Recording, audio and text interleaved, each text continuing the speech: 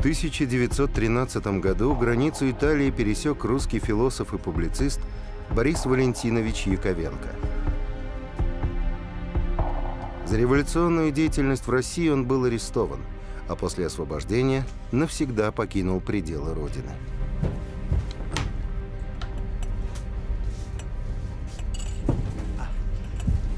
Signor. Через четыре года в Петрограде произойдет революция. Борис Валентинович так и не станет очевидцем события, которого ждал всю жизнь. Он лишь читал газеты и собирал сведения о том, что происходит в России. Пройдут годы, и на основе этих материалов он напишет книгу «История Великой Русской революции». Она станет одним из первых описаний трагических событий, которые перевернули не только Российскую империю, но и весь мир.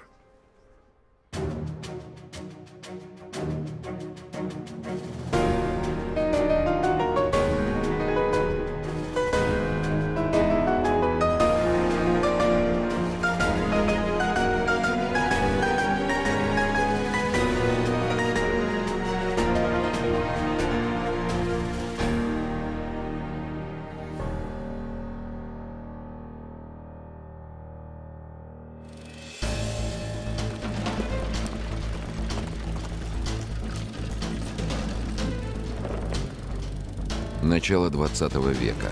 Российская империя.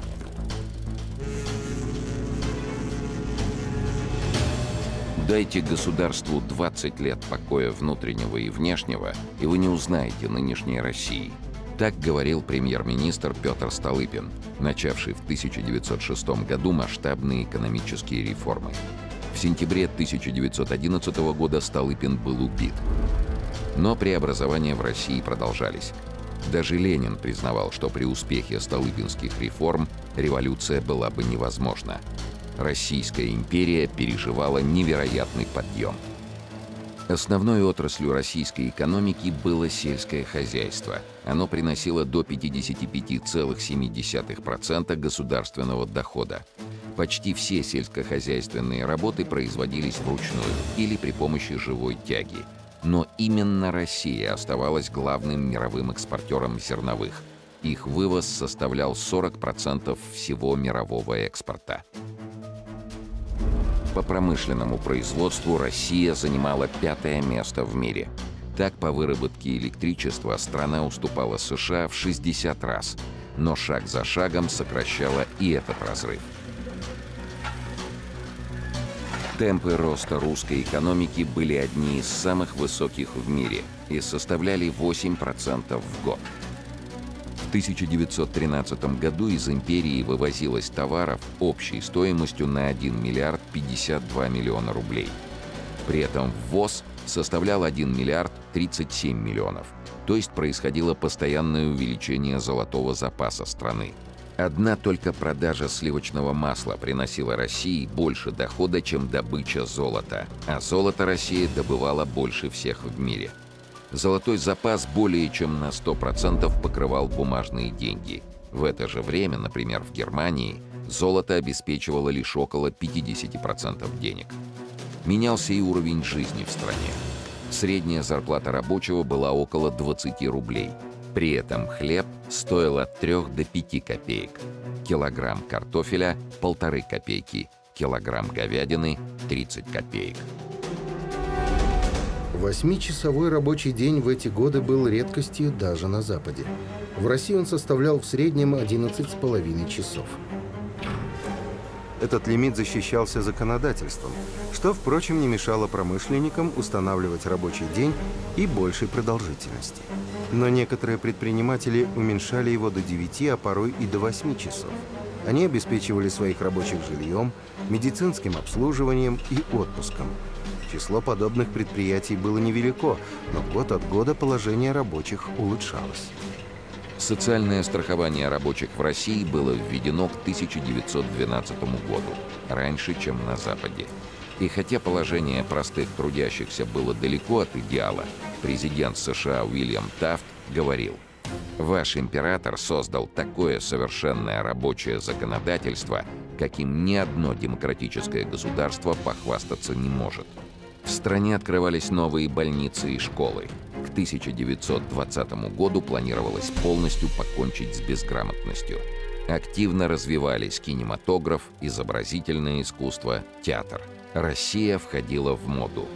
На балетные спектакли Дягилева в Париже билетов было не достать. Имена Серова, Бакста, Билибина, Верещагина и других художников знали во всем мире. Европа читала Толстого, Достоевского и ставила пьесы Чехова. В 1900 году на Всемирной выставке в Париже русская экспозиция получила 1589 наград, из них 212 высших. А французская газета «Либерте» так писала о впечатлении, произведенном русскими павильонами – мы находимся еще под влиянием чувства удивления и восхищения, испытанного нами при посещении русского отдела. Социальная жизнь в России протекала бурно, как и во всем мире. Сотни лет Европой правили сословия монархов, аристократов и дворянства. Им принадлежали земли и богатства. Они создавали законы, они стояли у власти. Но время шло – Развивающийся капитализм привел к появлению новой финансовой и промышленной элиты. К началу 20 века частные компании и банки контролировали капиталы, сопоставимые с бюджетами своих стран. Промышленники, торговцы, банкиры требовали от правительств новых прав, новых условий и новых законов для развития бизнеса. Они не останавливались перед взятками и подкупом чиновников. Они проталкивали во властные структуры своих людей – добиваясь принятия нужных им законопроектов.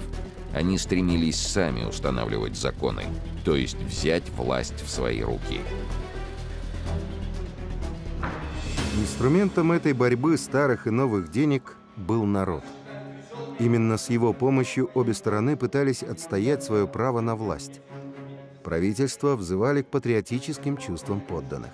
А оппозиция обещала гражданам все виды свобод, какие только можно придумать свободу предпринимательства, свободу слова, вероисповедания, морали. Эти новые идеи, названные либеральными, звали народ по сути к одному – к свержению старого строя. А что, за дураков держит? Мы тут работаем, работаем. Россия была наводнена нелегальной революционной литературой. Распространялась она группами революционеров, но печаталась на деньги крупных капиталистов и промышленников – эти брошюры продавались среди рабочих, причем по довольно высокой цене, что приносило революционерам и их спонсорам немалый доход. Так социал-демократы, в том числе большевики-ленинцы, выручали огромные прибыли от подпольной продажи политической литературы, которая печаталась за рубежом.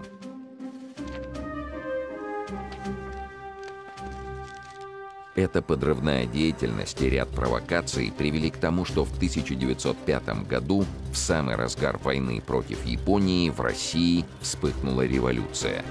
Баррикады, уличные бои и террористические акты унесли жизни более чем 9 тысяч человек. Эти трагические события заставили царскую власть пойти на первые уступки оппозиции – в 1905 году российский император разрешил деятельность различных политических партий. Николай II понимал, что время не стоит на месте. Стране действительно требовались реформы. Созданные партии представляли в основном интересы крупного капитала, землевладельцев и либералов. И задача у них оставалась все та же – захват власти. Ставка по-прежнему делалась на поддержку рабочими и крестьянами – Агитация, распространение подрывной литературы, создание нелегальных политических кружков не прекращались. Но потрясение ждало страну не от революции, и надвигалась катастрофа не на одну Россию. 1 августа 1914 года начнется одна из самых страшных войн за всю историю человечества. Война, названная позже Первой мировой, охватит Европу, а затем практически все континенты. Мир изменится навсегда. Прошло 43 года с тех пор, как немецкие государства объединились в единую империю – Германский рейх. Германия теснила Францию и Англию на рынках и отвоевывала все новые колонии в Азии и Африке. Ее ближайший союзник, Австро-Венгерская империя, боролась за контроль над Балканами, угрожая православной Сербии, союзнице России. Ситуация в мире становилась все более напряженной. Государства вооружались. Франция, Россия и Великобритания создали военный союз, названный Антантой – Германия, Австро-Венгрия и Италия – так называемый Тройственный союз. В июне 1914 года в Боснии был убит наследник австрийского престола Франц Фердинанд. Австрия обвинила в убийстве спецслужбы Сербии и объявила Сербии войну. Россия же заявила, что не допустит оккупации Сербии. Русский император Николай II отправил германскому императору Вильгельму II телеграмму с предложением обсудить этот конфликт на Гаагской конференции и избежать войны. Вильгельм не ответил. В Европе начались мобилизации. 1 августа 1914 года Германия объявила войну России. 3 августа – Франции. Еще через три дня войну России объявила Австро-Венгрия. Россия, не желая этого, была втянута в войну за раздел влияния в мире, но отступить она уже не могла.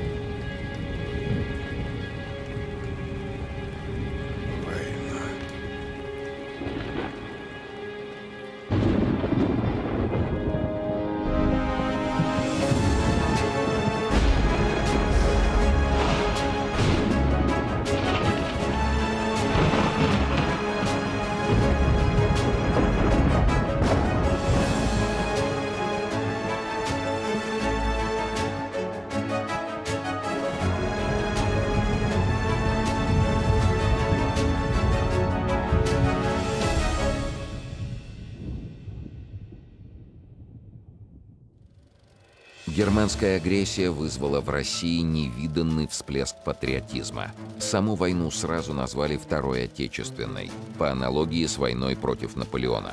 На Дворцовой площади Санкт-Петербурга собралась многотысячная демонстрация, и ликующая толпа приветствовала царя. Народ сплотился вокруг императора, как в прежние годы, когда враг подступал к границам русского государства.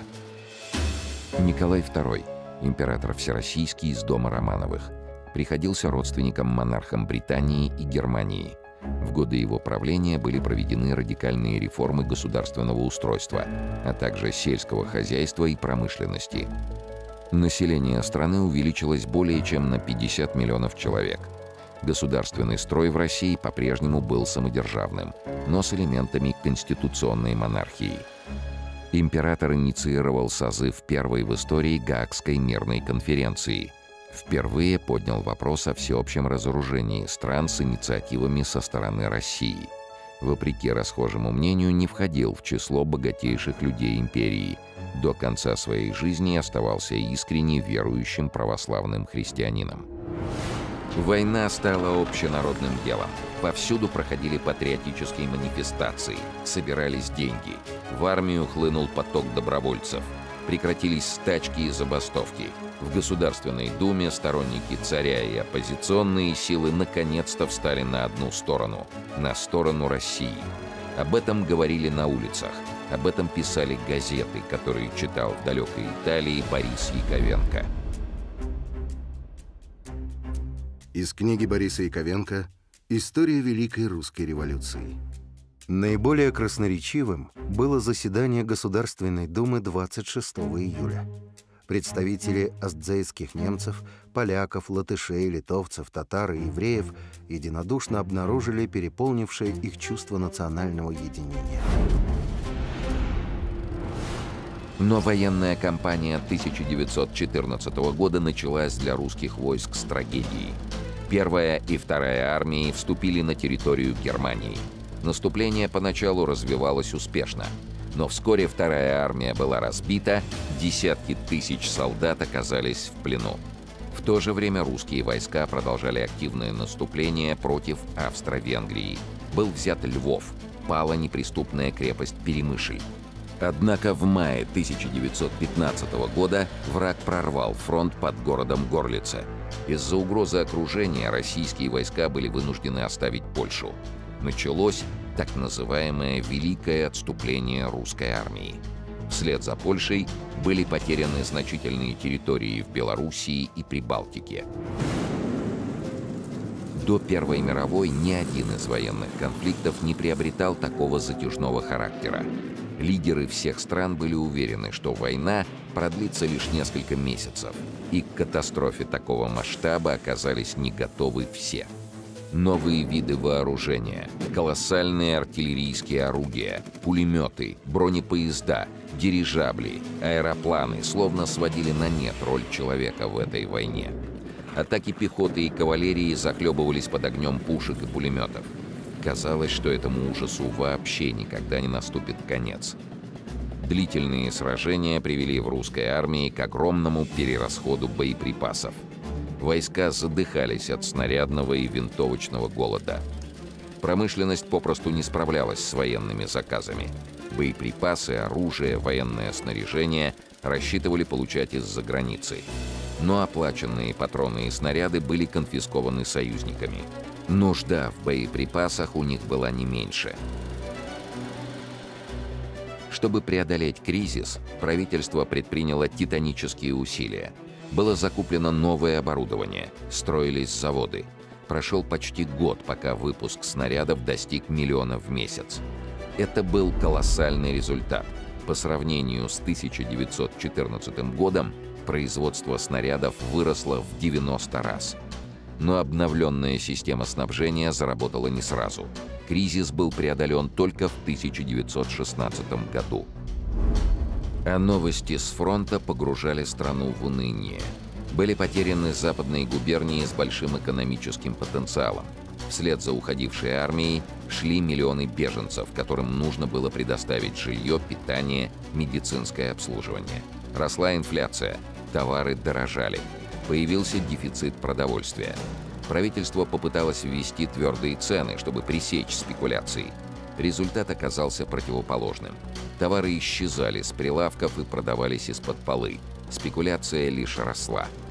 Кто-то готов был терпеть и работать до полной победы. Были и те, кто тут же нашел виноватого и обвинял во всем царя и его правительство. Прежде всего либеральные политики. Они задавали тон в печати, к ним прислушивались иностранные дипломаты. Они оказывали влияние на правительство – с октября 1905 года в России существовал государственный строй, являвшийся чем-то средним между конституционной монархией и самодержавием. Император руководил внешней политикой и вооруженными силами, возглавлял судебную и исполнительную власть. Высшим ее органом был Совет Министров, состав которого определялся императором. Законодательную власть царь осуществлял вместе с парламентом. Государственный совет – куда входили царские чиновники, являлся Верхней палатой парламента. Нижней палатой была Государственная дума, состоявшая из избранных депутатов. Законодательные предложения и бюджет разрабатывались в Думе, передавались на обсуждение в Госсовет и затем утверждались императором. После революции 1905 года в стране были разрешены политические партии различного толка, которые заседали в Думе. Большинство из них составляли оппозицию власти, что и отражалось на решениях Думы. Правительство и министры находились под острой критикой со стороны депутатов. А в условиях войны эта внутренняя борьба вовсе не способствовала укреплению государства и армии. В 1915 году в Государственной Думе заседали 442 депутата. Из них 120 представителей национально-патриотических сил, 98 депутатов-октябристов из партии «Союз 17 октября», представляющей крупных землевладельцев, 65 мест за депутатами правых монархических взглядов, 59 депутатов от партии конституционных демократов, сокращенно кадетов, куда входили купцы, банкиры, служащие, врачи, учителя. 48 мест имела так называемая прогрессивная партия, состоящая из промышленников и представителей бизнеса. 21 депутат из национальных меньшинств. Польско-литовско-белорусская группа, польская коло, мусульманская группа. 14 мест имели социал-демократы, большевики и меньшевики. 10 – депутаты трудовой группы, которая заявляла, что представляет интересы трудящегося населения. 7 депутатов были беспартийными.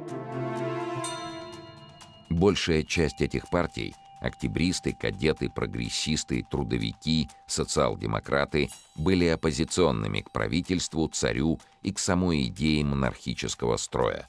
В условиях тяжелой войны это обстоятельство сыграло роковую роль.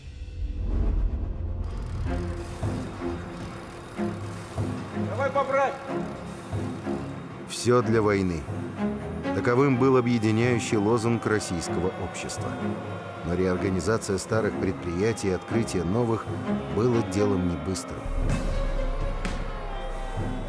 Критикуя правительство за ошибки и неповоротливость, оппозиция объявила, что берет дело в свои руки. Одним из руководителей этого движения стал видный оппозиционный политик князь Георгий Львов. Георгий Евгеньевич Львов, князь, потомок Рюриковичей, участник различных оппозиционных движений.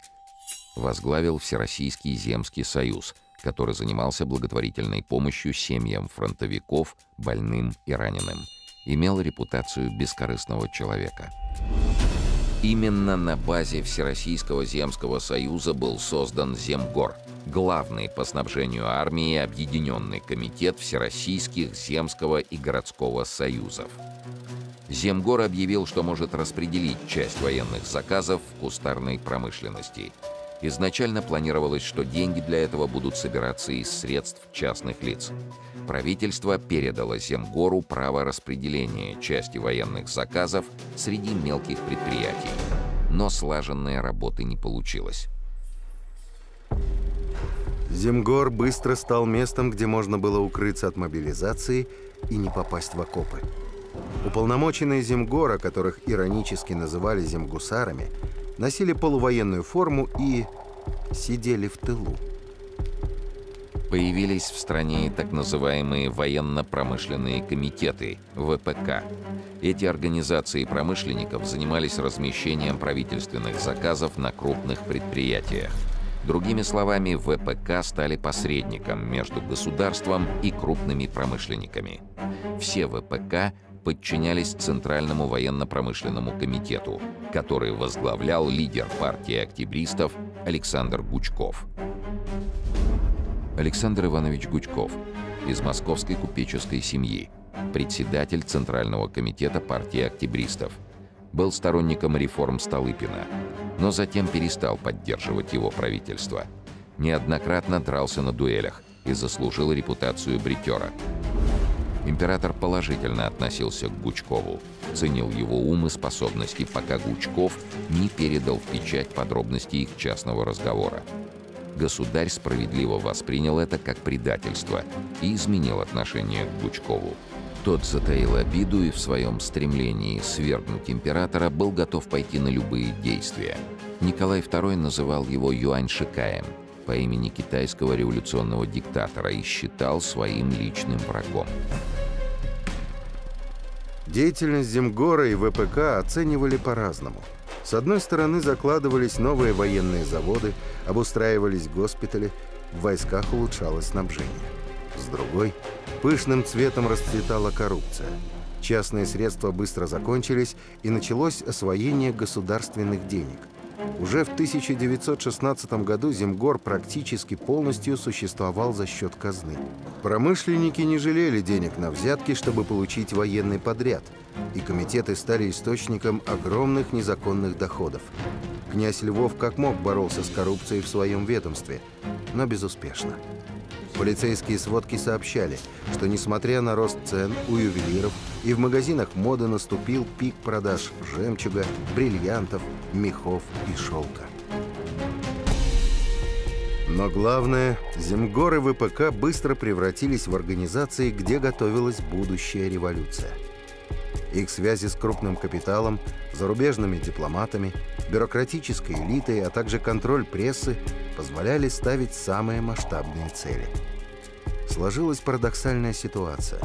Правительство с трудом нарешало сложнейшие задачи, которые стояли перед страной, а противостоявшая власти коалиция либералов – убеждала народ, что роль спасателей Родины принадлежит им. Все успехи правительства они присваивали себе. Тем временем в народе бурлили страсти, не имеющие ничего общего с парламентаризмом.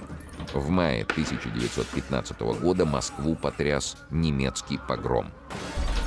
Довоенная Россия была связана с Германией чрезвычайно прочными узами – и к 1914 году в стране проживало 2,5 миллиона немцев.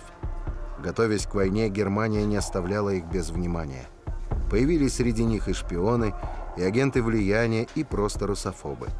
Но число их было ничтожно. При этом в самой России развернулась антинемецкая кампания. В общественных местах не говорили по-немецки. Санкт-Петербург переименовали в Петроград. Многие русские немцы даже сменили фамилии. Поражение России в военных действиях весной и летом 1915 года подлили масло в огонь. Великое отступление объясняли великой изменой на самом верху, где было много немцев среди генералов и высокопоставленных чиновников. Многих обывателей раздражало даже германское происхождение супруги императора – Александры Федоровны, в девичестве Алиса Виктория Елена Луиза Беатриса, Гессен Дармштадтская принцесса Алиса. Императрица до конца своих дней хранила верность России, но слухи о ее предательстве бродили по стране, и в них порой верили.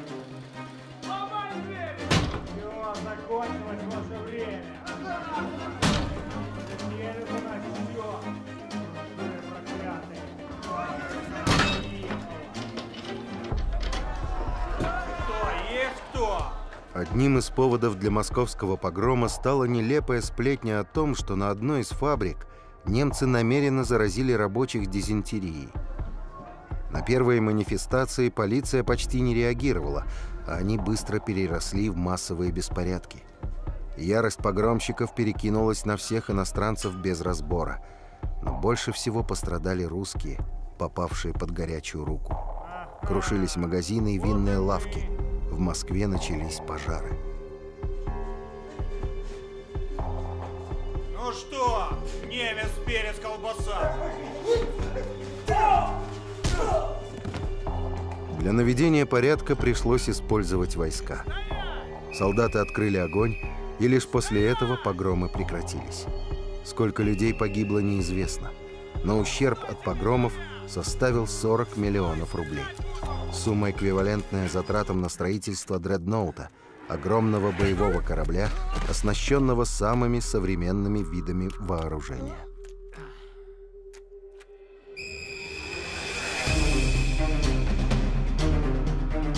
Одновременно по стране прокатились волнения рабочих. В разгар Великого отступления в Петрограде забастовал важнейший военный завод – Путиловский. Забастовщики требовали искоренить измену в верхах – а также поднять заработную плату. Проводились аресты, на заводы вводились войска. Без этих крайних мер в условиях войны было не обойтись, но власть явно теряла то доверие, которое получила в начале войны.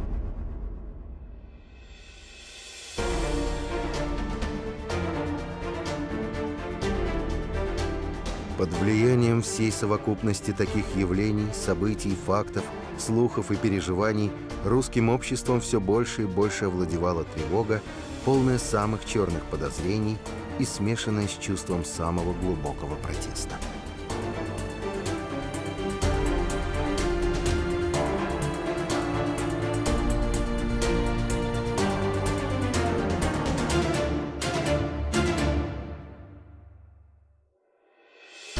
Первых дней войны пост Верховного главнокомандующего русской армии занимал великий князь Николай Николаевич. Николай Николаевич, младший, великий князь, внук императора Николая I, участник русско-турецкой войны 1877-1878 годов, генерал от кавалерии, был очень популярен в армии. За огромное честолюбие, властолюбие и склонность к интригам получил прозвище «Лукавый».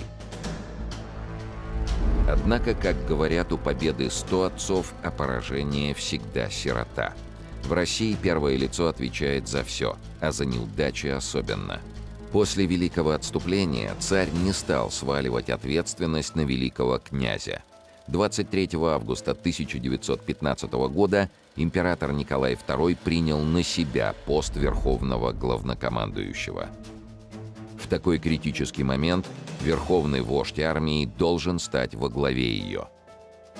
Это было мужественное решение. Царь считал своим долгом возглавить армию в трудный час. Великий князь Николай Николаевич не был выдающимся полководцем, но для многих именно он стал воплощением вождя сражающейся армии.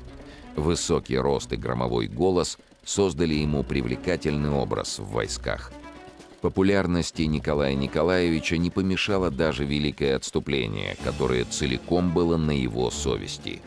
Тем не менее, император его от должности отстранил и отправил командовать Кавказским фронтом. Солдатская молва встретила новость неодобрительно. Многие считали, что враг был остановлен именно благодаря великому князю. О решении царя стать во главе армии многие удивленно спрашивали, зачем сам на войну пошел? Непосредственное влияние императора на ведение войны было незначительным. Фактически армией руководил начальник штаба ставки Верховного Главнокомандующего, талантливый полководец Михаил Васильевич Алексеев. Однако перед страной и народом отвечал за все Николай II, самодержец всероссийский. В 1905 году именно он подписал манифест о создании парламента – что фактически знаменовало конец самодержавия как неограниченной власти монарха. Однако он никогда не забывал о персональной ответственности перед государством и народом. Ответственность эту все русские цари несли перед Богом, о чем глубоко верующий человек Николай помнил до последних часов своей жизни. К этому времени либеральные идеи распространились даже в семейном кругу царского дома – Некоторые великие князья полагали за благо, если не отмену монархии, то снижение роли императора в управлении страной. Но Николай II, как и его отец, император Александр III, был уверен в том, что именно монархия создала историческую индивидуальность страны. Рухнет монархия, рухнет и Россия. Император оказался прав –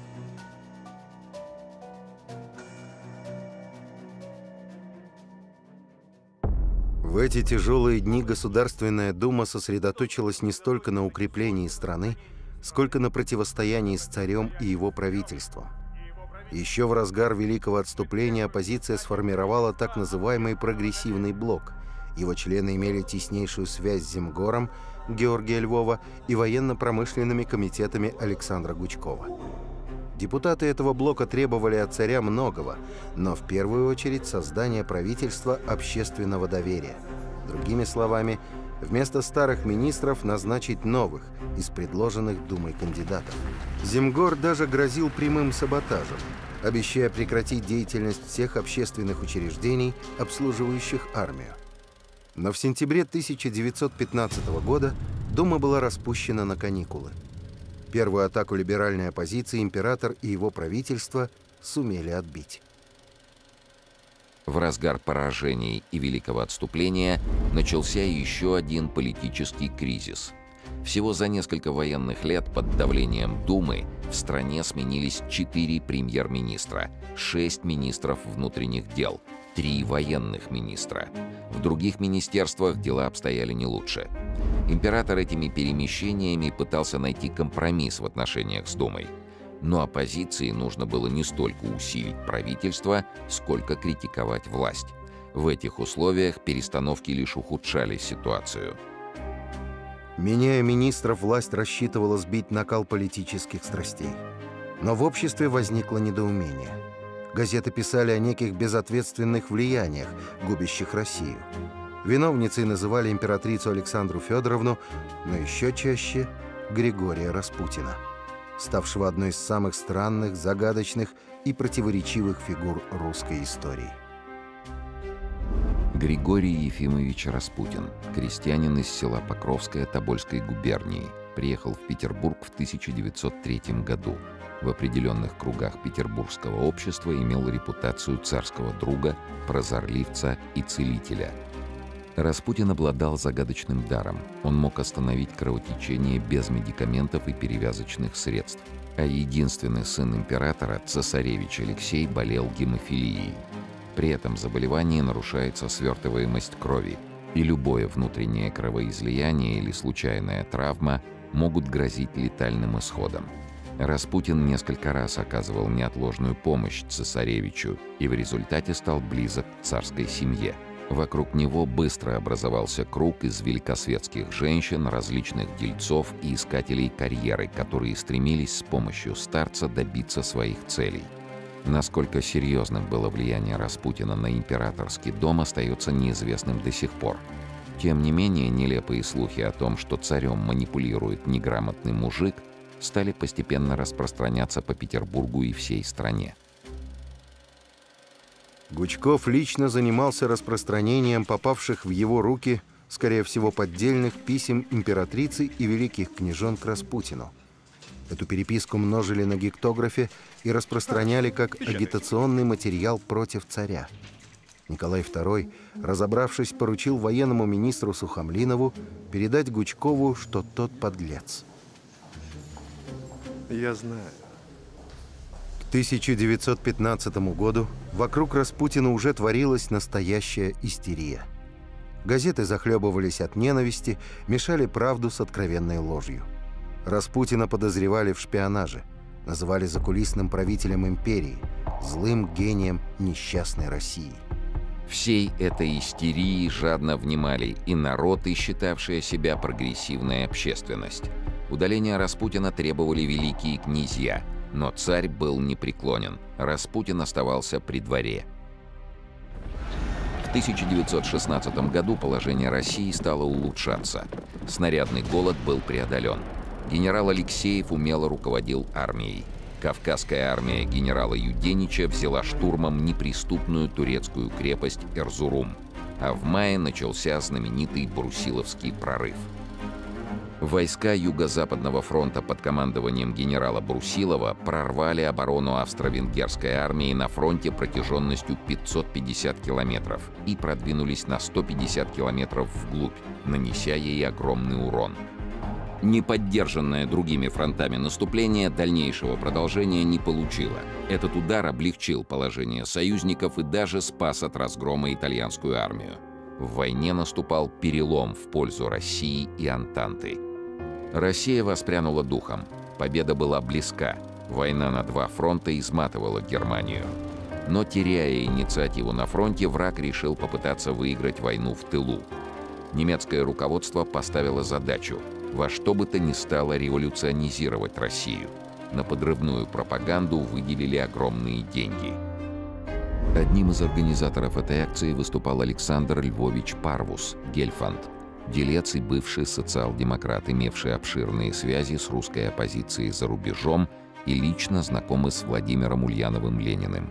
На реализацию своего плана он попросил у германского МИДа 5 миллионов золотых марок и 2 миллиона получил немедленно – Существуют сведения, что огромные суммы через подставные банки и фирмы передавались Ленинской партии большевиков.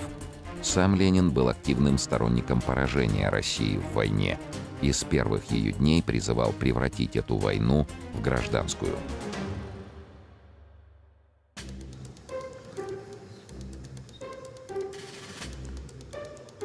А внутренняя политика в России становилась все более запутанной и противоречивой.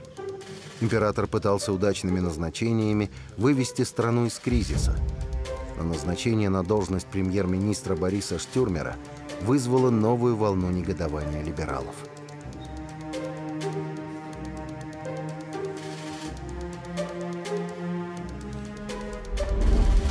Борис Владимирович Штюрмер, выходец из забрусевших немцев, член Государственного совета. Став председателем Совета министров, занял посты министра внутренних дел и министра иностранных дел. Как глава МИДа добился согласия союзников на все русские требования в случае победы в войне. А именно, под контроль Российской империи переходили Черноморские проливы и Стамбул, столица Турции. За твердую позицию на этих переговорах Штюрмера возненавидели союзные представители и вели против него настоящую травлю. В сентябре 1916 года по инициативе Штюрмера газета «Русское слово» обнародовала информацию, что Земгор и военно-промышленные комитеты существуют исключительно за счет казны. Так, из 562 миллионов рублей, израсходованных этими организациями, только 9 миллионов собраны ими. Остальные ассигновались из государственного бюджета. Земгор, получивший от военного министерства заказы на 242 миллиона рублей, выполнил их только на 80 миллионов. Военно-промышленные комитеты получили заказы на 400 миллионов рублей, но выполнили менее половины работ. На заседании Совета министров Штюрмер поднял вопрос о расформировании Земгора и ВПК и о передаче их функций государственным органам. Неудивительно, что оппозиция ненавидела Штюрмера неистово. К борьбе с ним подключились посольства стран-союзниц. Штюрмер не устраивал их своей неуступчивостью в переговорах. Так к немецким агентам, работающим в России, добавились агентурные сети Франции и Англии.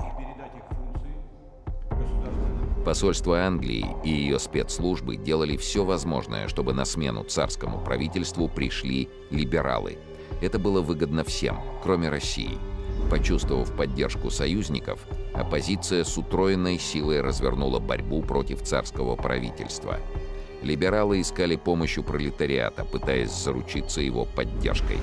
В итоге весь 1916 год Россию лихорадило от забастовок и заговоров. Противники власти говорили о спасении страны от неких темных сил, якобы завладевших Россией. Но на самом деле они просто подталкивали к крушению и слабевшую власть, и саму державу. Различные заговоры собирались вокруг Николая Николаевича и других великих князей. Кружки заговорщиков, переплетаясь между собой, строили планы, сочиняли меморандумы. Эти меморандумы попадали на стол царю, но тот не реагировал – а Государственную Думу сотрясал скандал за скандалом. Согласно плану. 1 ноября 1916 года на трибуну Государственной Думы вышел лидер партии конституционных демократов Павел Милюков. Павел Николаевич Милюков, сын архитектора, выходец из старинного дворянского рода, депутат Государственной Думы, занимался оппозиционной деятельностью, за что несколько месяцев провел в тюрьме. Имел тесные связи с британскими дипломатами. Директор департамента полиции Васильев писал, если английское министерство иностранных дел когда-нибудь разрешит публикацию документов из своих архивов, это по-новому и не особенно благоприятно осветит патриотизм Милюкова. Выступление Милюкова было явно подготовлено совместными силами оппозиции и посольствами Франции и Англии с одной целью – любой ценой убрать Штюрмера. Чтобы добиться своего, выбрали самое страшное, самое нелепое из возможных обвинений – государственную измену. Мешая факты и домыслы, Милюков обвинял главу правительства, а вместе с ним и императрицу, в подготовке сепаратного мира с Германией и в конце выступления воскликнул – что это? Глупость или измена?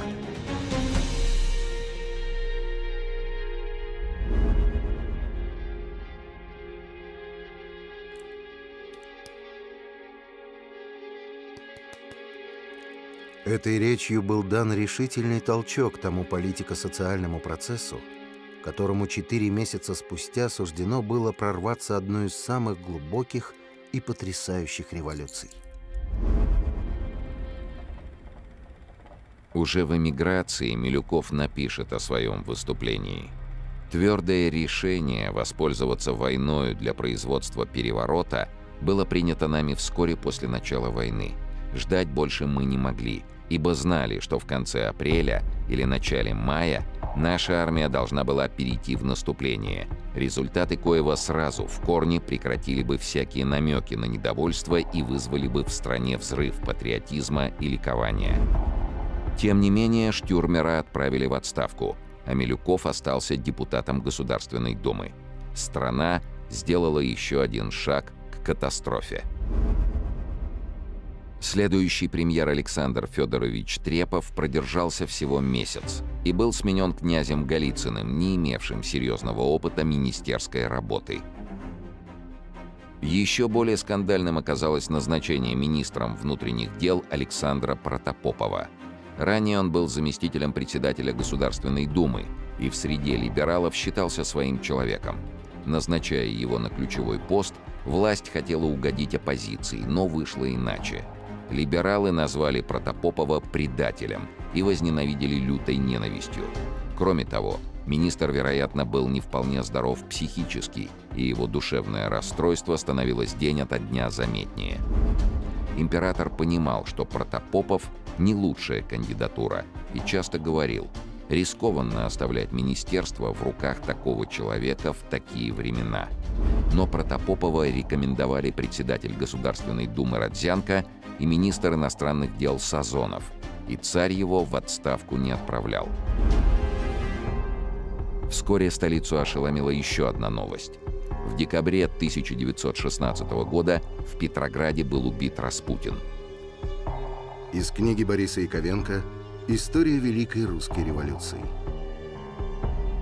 Весть об убийстве Распутина и тех обстоятельствах, при которых оно произошло – произвела впечатление на общество.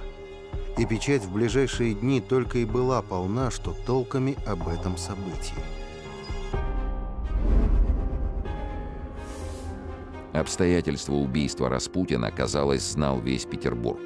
Газеты едва ли не в открытую называли имена заговорщиков, включая члена императорской фамилии великого князя Дмитрия Павловича. Но далеко не все загадки этого таинственного преступления разгаданы до сих пор. Расследование словно специально запутывали.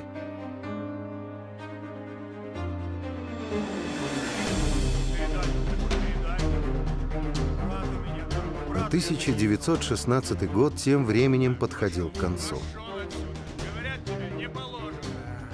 Газеты полнились ужасными слухами. Посольства Англии и Франции интриговали. На фронте готовились к решающему наступлению, а в тылу — к заговорам и беспорядкам.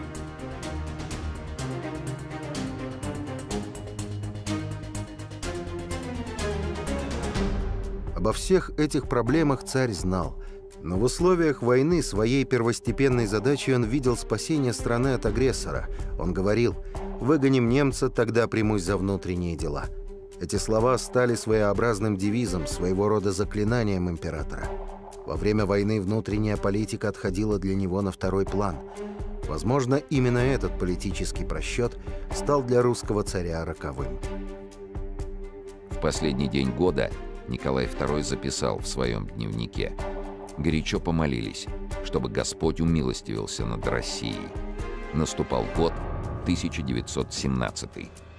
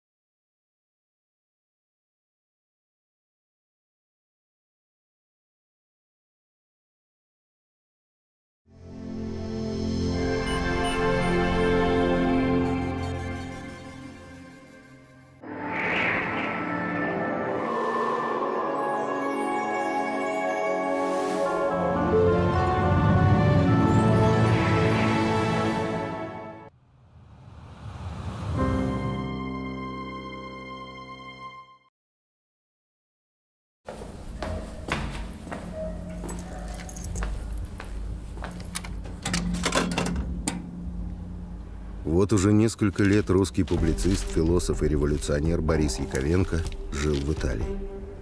Новости из России приходили сюда с опозданием, но он внимательно следил за тем, что происходило на родине, собирая материалы для будущей книги.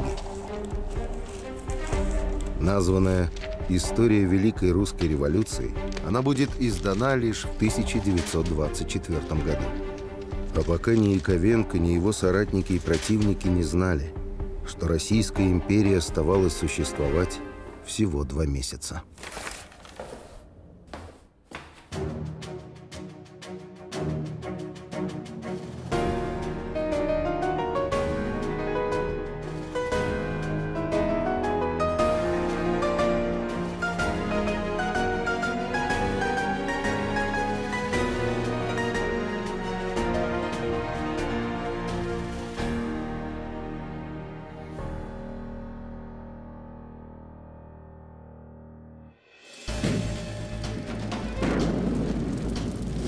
Драматическим 1916 пришел год 1917.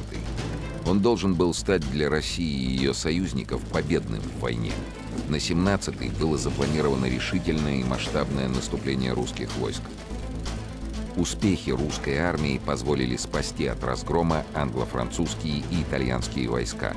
Все свои надежды Франция и Англия возлагали на Россию. Союзники даже подписали с Россией соглашение, за которое русские правители боролись в течение многих веков. После войны под контроль России переходили не только Черноморские проливы, но и Константинополь, тогдашняя столица Турции, Стамбул. Надежды на скорую победу были обоснованы. Положение Германии становилось день ото дня тяжелее. Зажатая фронтами и военно-морской блокадой, Германская империя превратилась в страну, где недоедание стало нормой жизни. Продуктов не хватало. Карточки были введены буквально на все. На хлеб, масло, мясо, одежду. Зиму 1916-1917 годов в Германии прозвали «брюквенной». Этот овощ стал для многих едва ли не единственным блюдом. Германская пропаганда старалась как могла – Немцев пытались убедить, что дела не так уж плохи, и что курицу, к примеру, можно заменить жареной вороной, вкусу которой ничуть не хуже. Но нехватка продовольствия стала ощущаться даже на фронте. В это же время русская экономика вполне оправилась от шока. Тяжелая промышленность выпускала в три раза больше продукции, чем до войны – а по военным заказам производство выросло в 20 раз. Выпускались отечественные автомобили, броневики, самолеты. Были созданы электротехническая и радиопромышленность. Больше не было дефицита вооружения и боеприпасов. Страна полностью обеспечивала фронт всем необходимым. Но эти успехи давались непросто. Вырос государственный долг, росли цены – Борис Яковенко, живя в Италии, внимательно следил за тем, что происходило на родине. Из книги Бориса Яковенко «История Великой Русской революции». К началу 1916 года Россия лишилась почти 300 тысяч квадратных верст богатейшей территории с населением до 25 миллионов человек, меж тем как обширные прилежащие области находились в состоянии экономического паралича. Неприятелем было захвачено около 8 тысяч верст рельсовых путей. Во время боев погибло множество фабрик и заводов, и разорено было добрых два десятка провинций. 15 миллионов мужчин служили в армии, а каждый новый день войны уносил сотни человеческих жизней.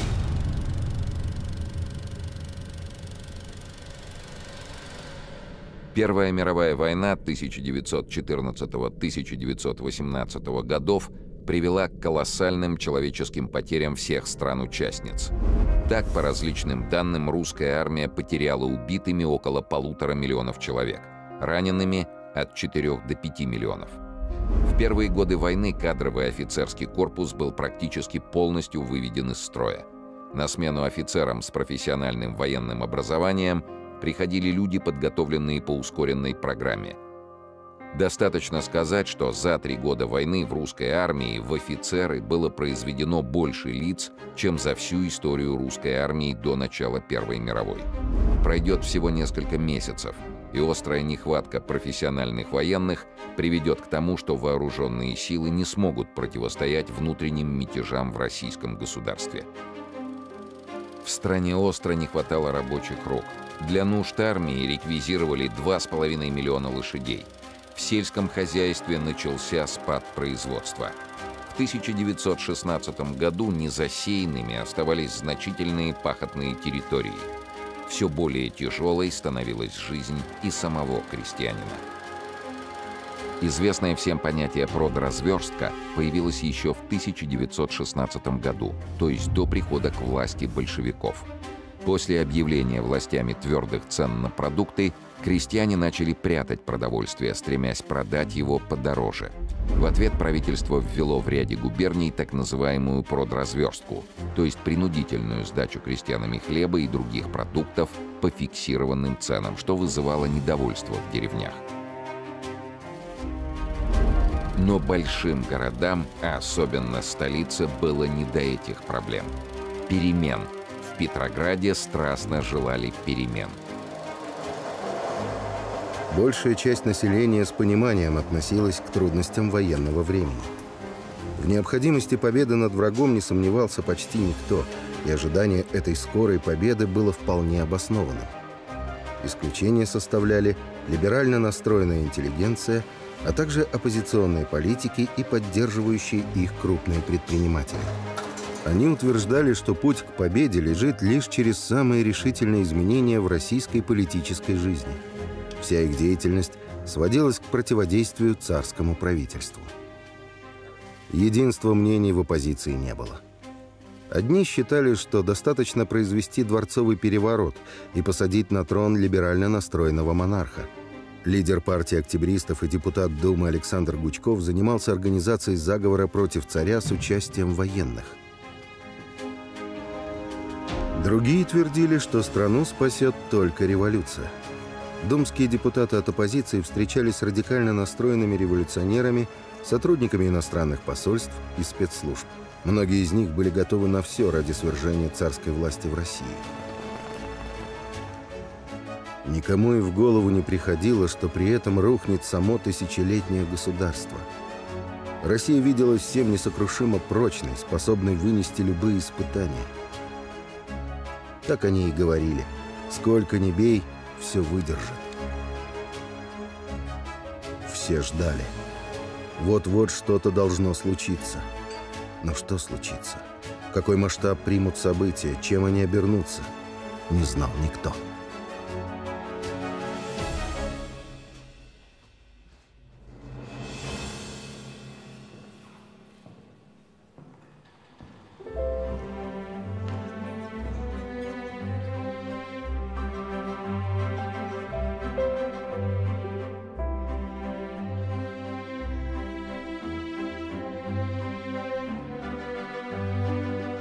Января нового 1917 года в Зимнем дворце состоялся прием, на который собралась вся элита империи. К председателю Государственной Думы Михаилу Родзянко подошел министр внутренних дел Протопопов. Александр Дмитриевич Протопопов Окончил кавалерийское училище и Академию Генерального штаба, но вскоре вышел в отставку – крупный промышленник и землевладелец, депутат 3 и 4 Государственных дум от партии октябристов. В составе думской делегации ездил в Англию. Английский король Георг V восторженно отзывался о нем в письме Николаю II. Некоторые современники сомневались в психическом здоровье Протопопова. Но мнение короля Георга, а также рекомендации председателя Думы Родзянко и министра иностранных дел Сазонова были столь значительными, что император назначил Протопопова министром внутренних дел. Еще недавно Александр Дмитриевич Протопопов был заместителем Родзянко в Думе. На его переход из оппозиции в правительство все изменил. Либеральные политики восприняли это как предательство – Протопопов лишь хотел поздравить Родзянко с Новым годом, но тот, не повернув головы, прокричал «Вон! не прикасайтесь ко мне.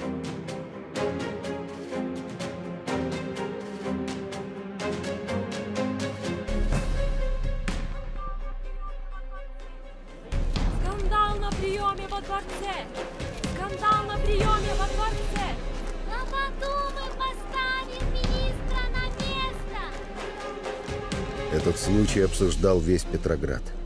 Либеральная публика пришла в восторг. Родзянко вступил в открытый конфликт с царским министром и мгновенно превратился в кумира оппозиции. Протопопов не стал сносить оскорбления и вызвал Родзянко на дуэль. Тот поединок принял. Столица замерла в ожидании невиданного зрелища. В разгар тяжелейшей войны министр внутренних дел собрался стреляться с председателем парламента. В скандал пришлось вмешаться императору Николаю II. Царь попросту приказал министру отказаться от дуэли. И она не состоялась. Александр Дмитриевич, Но спокойствие в растревоженных умах не наступило. Приближалось 9 января, годовщина кровавого воскресенья. я могу идти. Ступайте.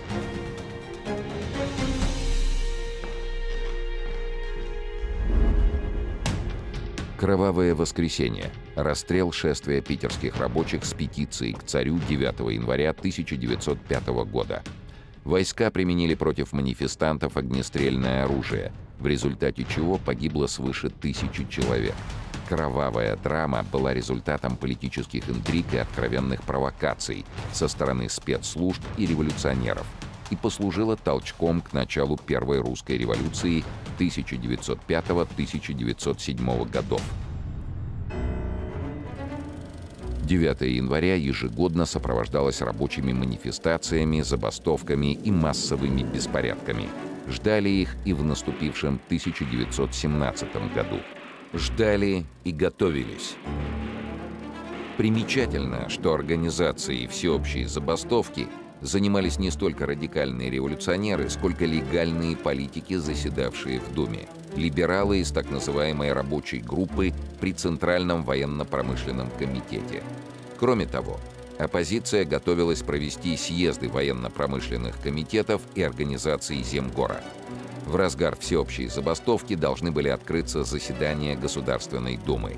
Соединенными силами оппозиция собиралась нанести удар по власти – Военно-промышленные комитеты и Земгор создавались как общественные организации для помощи фронту на пожертвования частных лиц. Но к 1917 году все они в значительной степени финансировались государством, при том, что руководили ими в основном лидеры оппозиции. Невероятно, но именно структуры, существовавшие за государственный счет, готовили активное выступление и против царя, и против его правительства.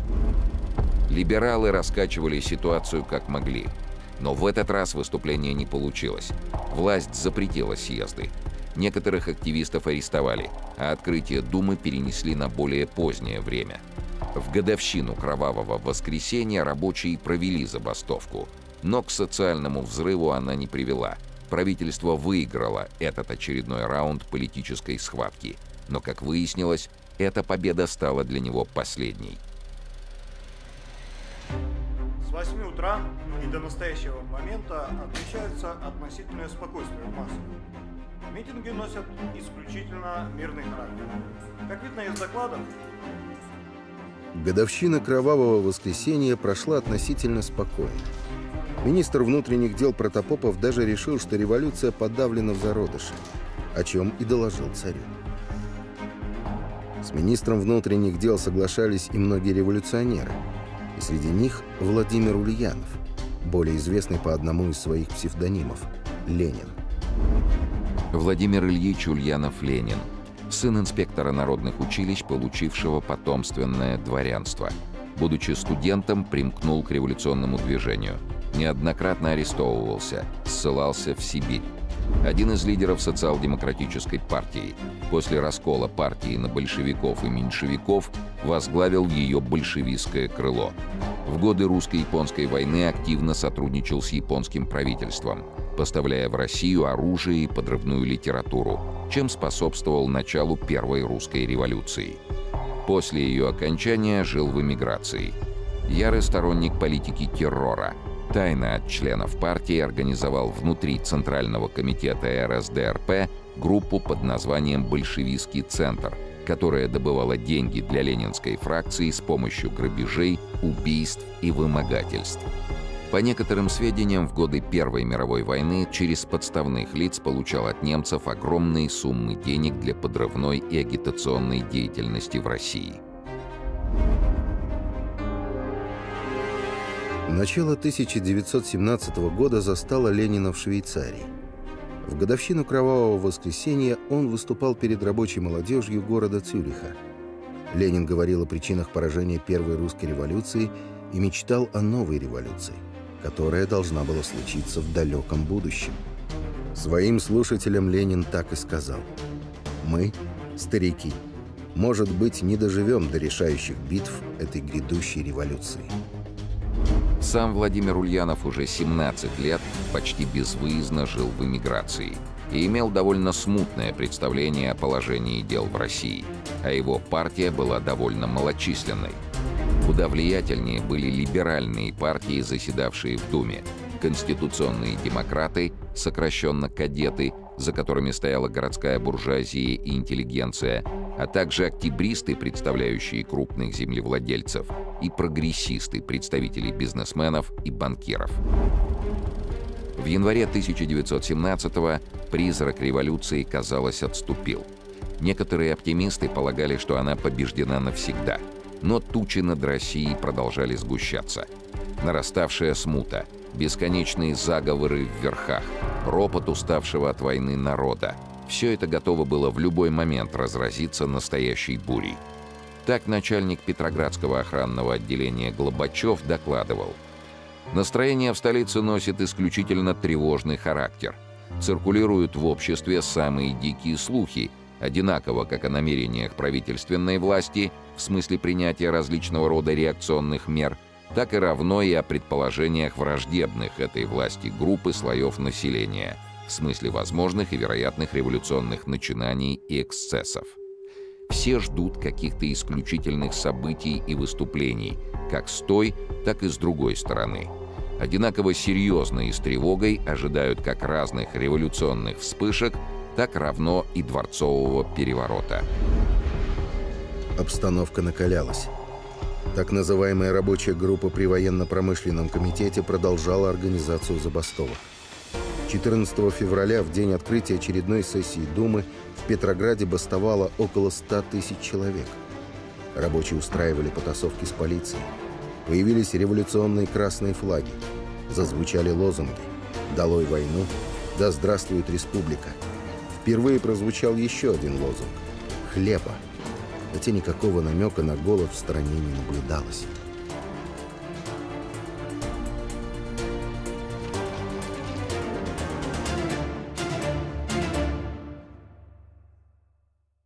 В самой Думе и вокруг нее было тихо.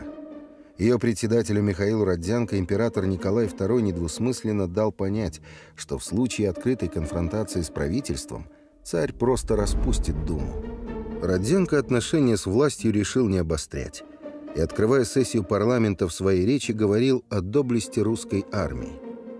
Но другой депутат произнес речь куда более радикальную. Звали его Александр Керенский. Александр Федорович Керенский, сын директора гимназии города Симбирска. Примечательно, что эту гимназию закончил Владимир Ульянов-Ленин именно в те годы, когда отец Керенского был ее директором. Александр Керенский получил высшее юридическое образование в Университете Санкт-Петербурга. Сотрудничал с революционными изданиями. Был арестован, но освобожден за недостаточностью улик получил известность как адвокат, защищавший революционеров и восставших крестьян. Находился под негласным наблюдением охранного отделения под кличкой «Скорый» из-за привычки бегать по улицам на ходу, запрыгивая в трамвай. Один из лидеров российского политического масонства. Керенский был известен как прекрасный оратор. Выйдя на трибуну, он стал произносить слова, которых раньше не слышали стены Таврического дворца. «И вот я и спрошу вас, господа члены Государственной Думы, поняли ли вы, что исторической задачей русского народа в настоящий момент является задача уничтожения средневекового режима немедленно, во что бы то ни стало?» Как можно законными средствами бороться с теми, кто сам закон превратил в орудие издевательства над народом? С нарушителями закона есть только один путь – физического их устранения. Председатель поинтересовался, что Керенский имел в виду, и тот ответил. То, что совершил Брут во времена Древнего Рима. Марк Юний Брут был убийцей Юлия Цезаря, носившего титул римского императора. Намек Керенского был ясен. Он фактически призывал к физическому устранению императора. Это было неслыханно.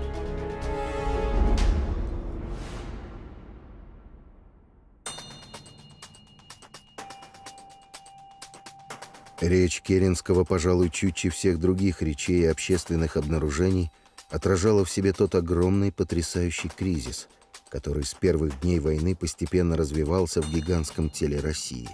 А к началу 1917 года уже окончательно назрел в нем во всех отношениях и направлениях и готов был разразиться неслыханной катастрофой.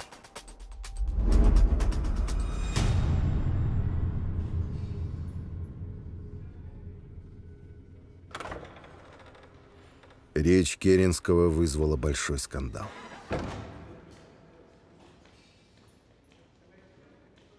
Александр Федорович, вас ожидают.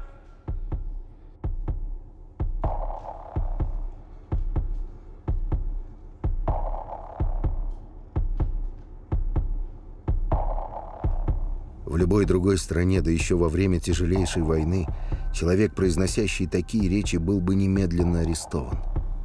В Министерстве юстиции тут же подготовили ходатайство о лишении его депутатской неприкосновенности. Но председатель Думы Родзянко, получив бумагу из ведомства юстиции, вызвал Керенского в свой кабинет, где сказал «Не волнуйтесь, Дума никогда не выдаст вас». Так и произошло.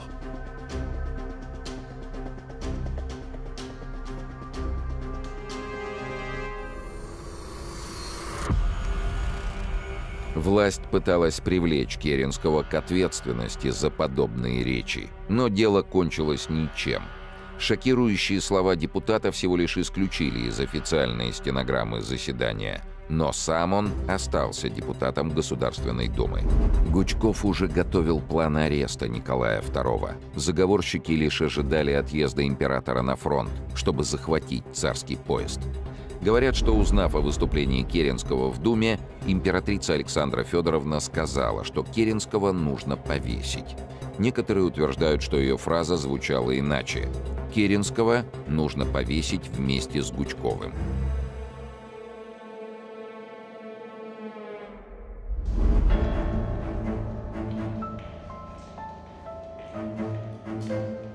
Предчувствуя грядущий бунт, власть еще пыталась его остановить. Рабочая группа при военно-промышленном комитете, которая занималась организацией забастовок, была арестована.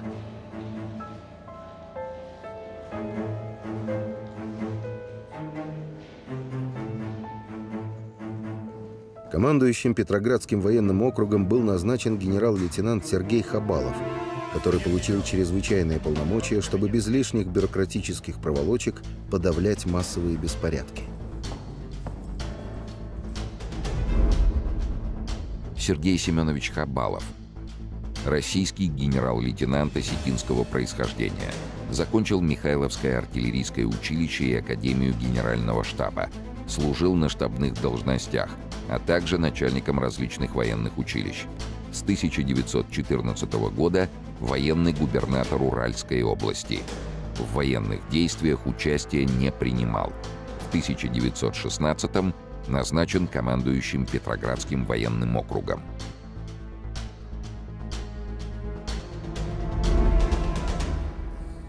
Старый тыловой службист. Хабалов не был ни строевым командиром, ни опытным администратором. Отсутствие у него опыта и решительности сыграло решающую роль в последующих событиях.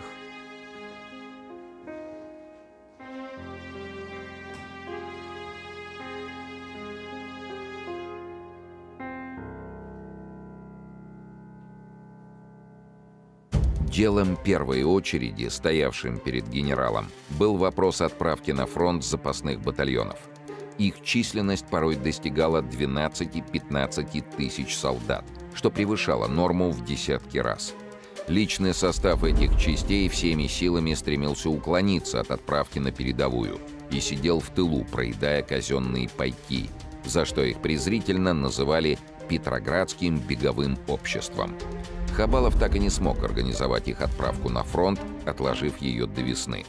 В результате в столице, где ситуация и без того была напряженной, практически без дела болталась огромная масса вооруженных солдат. Неспособность решить эту задачу могла стоить генералу должности, но министр внутренних дел Протопопов уговорил не увольнять Хабалова. Сам Протопопов, завоевавший к этому времени полное доверие императрицы, также оставался на своем посту, несмотря на все требования оппозиционных политиков его уволить. Обстановка становилась все более напряженной, когда в ход событий неожиданно вмешалась погода. Для Российской империи этот фактор оказался роковым. В середине февраля в Петрограде начались снегопады и ударили 30-градусные морозы. Паровозы выходили из строя. Из-за снежных заносов железная дорога стала работать с перебоями. На различных станциях застряло около 6 тысяч вагонов. В результате возникли сложности с доставкой хлеба в Петроград. Вместо 450 вагонов, ежедневно доставлявших продовольствие в столицу, через заносы пробивались чуть больше 100. Запасы муки в Петрограде уменьшились почти в три раза. За годы войны это были первые перебои с хлебом. Но катастрофы еще не было. Российская империя, в отличие от Германии, не страдала от нехватки продовольствия. Проблема была в их нерациональном использовании. Значительная часть урожая 1916 года была просто придержана крестьянами, которые ждали удобного момента, чтобы продать зерно подороже. Эффект оказался неожиданным. Еще осенью по России поползли слухи, что хлеб подорожает в 10 раз. Обыватели пугали друг друга повсеместным введением карточек. К тому времени карточки уже были введены в Москве, Харькове, Одессе и ряде других городов. Но они распространялись только на дефицитные продукты, такие, например, как сахар. Но если в провинции с продовольствием были сложности, то Петроград их не знал вообще. Однако взорвалась именно столица – Перебои со снабжением подняли новую волну слухов, в том числе и о том, что хлеб скоро начнут продавать только по карточкам. В этой наэлектризованной атмосфере началась новая забастовка на крупнейшем заводе города – Путиловском. Главный город империи, Петроград, был крупным промышленным центром – Важнейшие заводы столицы – Путиловский, Обуховский, Ижорский, Александровский и завод «Арсенал» имени Петра Великого были передовыми предприятиями мирового масштаба. Только на Путиловском заводе работало 36 тысяч человек. Всего же на 902 столичных предприятиях трудилось порядка 400 тысяч человек, что составляло пятую часть населения двухмиллионного Петрограда – Политические симпатии значительной части рабочего класса столицы принадлежали различным революционным партиям и организациям. Рабочие лафетно-штамповочного цеха Путиловского завода потребовали от администрации повысить заработную плату на 50%. Руководство завода соглашалось, но только на 20% увеличение и немедленное возобновление работы. Такие условия бастующих не удовлетворили. Тогда заводоуправление заявило о закрытии цеха. В ответ на это решение прекратили работу и другие цеха. Реакция была жесткой. Администрация заявила, что Путиловский завод останавливает работу на неопределенный срок, а все без исключения рабочие будут уволены. Перед десятками тысяч путиловцев замаячила мрачная перспектива. в разгар войны остаться без средств к существованию. К тому же, с них автоматически снималось освобождение от военной службы, и в любой момент рабочие могли отправиться в окопы. Тем временем у продовольственных лавок Петрограда росли очереди. Запасы хлеба в столице были, ни о каком голоде речь не шла. Столица испытывала дефицит лишь в черном хлебе. Он был дешевле, его приобретали рабочие семьи, а потому именно за ним выстраивались длинные очереди. Ситуация не была критичной, в крайнем случае можно было использовать армейские запасы. Тем не менее, люди становились все более раздраженными. Посол Франции в России Марис Палеолог вспоминал о тех днях. Сегодня утром у булочной на Литейном я был поражен злым выражением, которое я читал на лицах всех бедных людей, стоявших в хвосте, из которых большинство провело там всю ночь.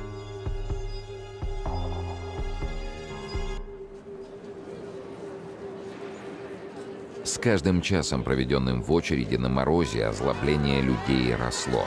Достаточно было одной искры, чтобы вспыхнул бунт. Нету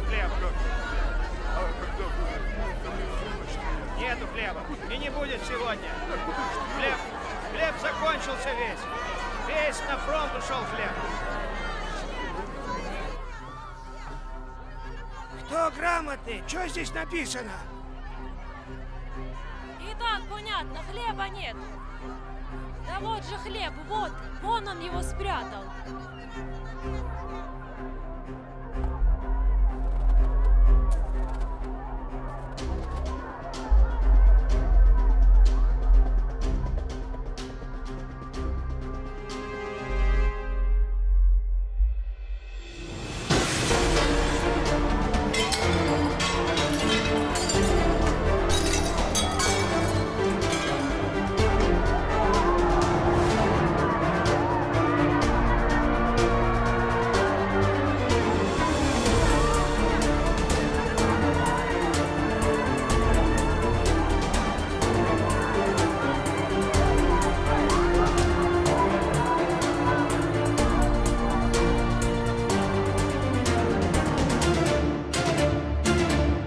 Двадцать первого февраля возмущенные толпы стали нападать на пекарни и булочные, требуя хлеба.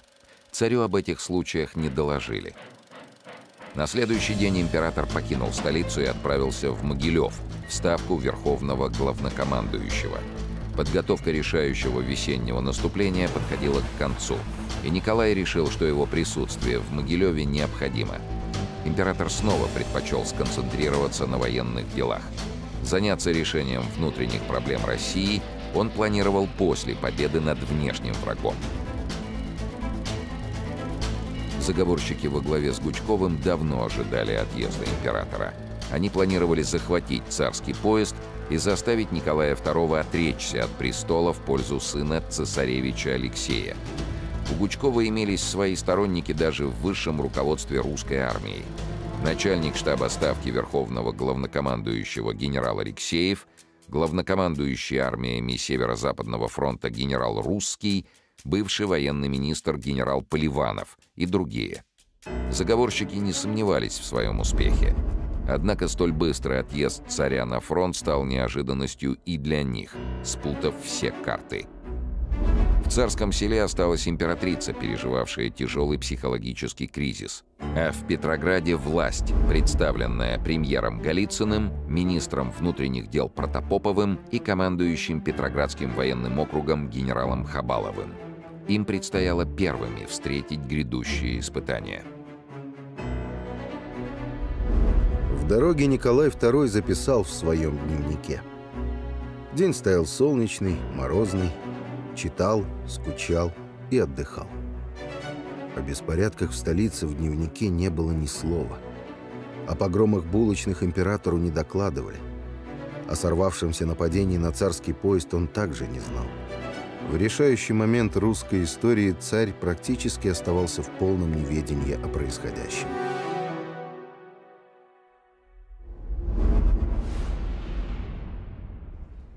Из книги Бориса Яковенко «История Великой Русской революции».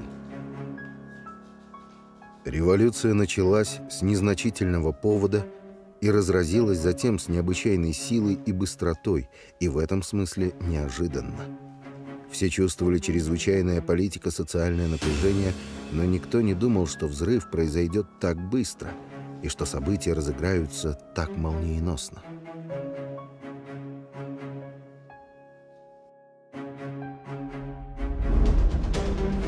Наступило 23 февраля. В наши дни после смены календаря эта дата приходится на 8 марта. Как и сейчас, в то время в России отмечали Международный женский день, или, как его еще называли, День работниц. Впервые его отметили в 1913 году, и он еще не был общенародным праздником. В первую очередь это был праздник женщин, которые трудились на заводах и фабриках. День работницы всегда проходил бурно, с шумными манифестациями, а зачастую и с массовыми стачками. Так случилось и в 1917 году. Рабочие текстильщицы Выборгского района Петрограда объявили забастовку. Кроме того, в центре столицы массовая демонстрация требовала улучшения условий женского труда. Вслед за женщинами последовали и мужчины. Много среди них было бастующих рабочих Путиловского завода. Вскоре стачка охватила десятки предприятий Петрограда. К требованиям хлеба бастующие скоро добавили и политические лозунги «Долой войну» и «Долой самодержавие». По полицейским сводкам бастовало 87 534 человека на 50 предприятиях. В центре Петрограда митинги и демонстрации поначалу проходили спокойно – на рабочих окраинах уже громили полицейские участки и магазины, переворачивали трамваи. День выдался погожим. Благодаря этому на улицах оказалось много гуляющего народа, и толпы бунтовщиков росли подобно снежному кому. Здесь были подростки, студенты, рассерженные обыватели, городские бездомные и бродяги, и просто зеваки. Беспорядки с окраин грозили перекинуться в центральные районы Петрограда. Полиция оказалась к этому не готова. Часто лицом к лицу с тысячами рабочих оказывалось всего горстка полицейских. Сдержать толпу озлобленных и взвинченных людей городовые не могли.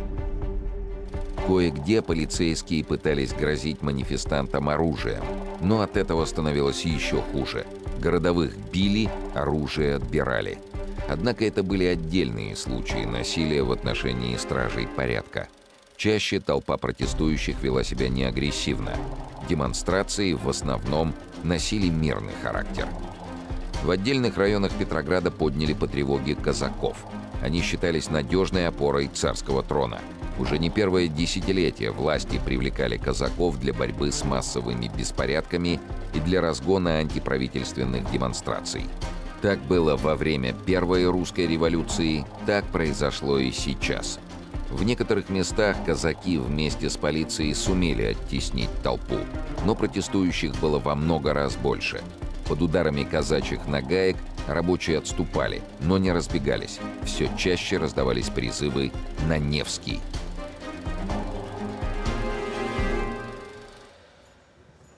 Параллельно с демонстрациями собралась на заседание Государственная Дума.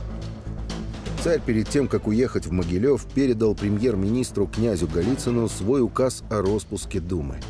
В этом документе не было даты. Ее должен был проставить сам Голицын. Российский парламент, не зная, что находится в одном шаге от распуска, продолжал свою работу. На события в Петрограде Дума почти не реагировала, хотя о массовых демонстрациях знала. С утра здесь раздавались телефонные звонки. Однако наведение порядка в городе Дума не обсуждала. Сведения о манифестациях депутаты использовали для новых нападок на царское правительство. Главным в повестке дня был продовольственный вопрос.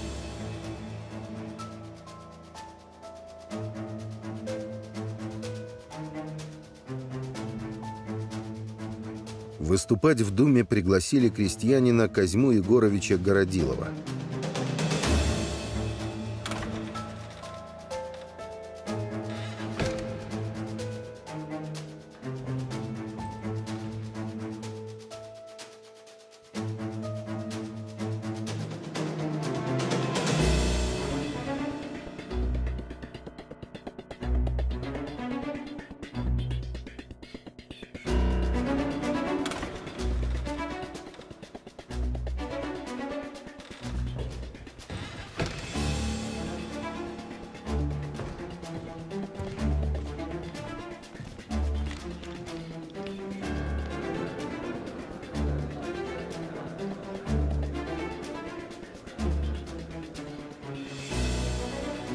начал с критики твердых цен.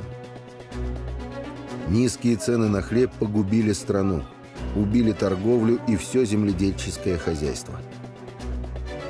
Крестьян снова закрепощают. Их заставляют засевать поля и отдавать хлеб по низким дешевым ценам. Выступление Городилова периодически прерывалось криками «Браво!».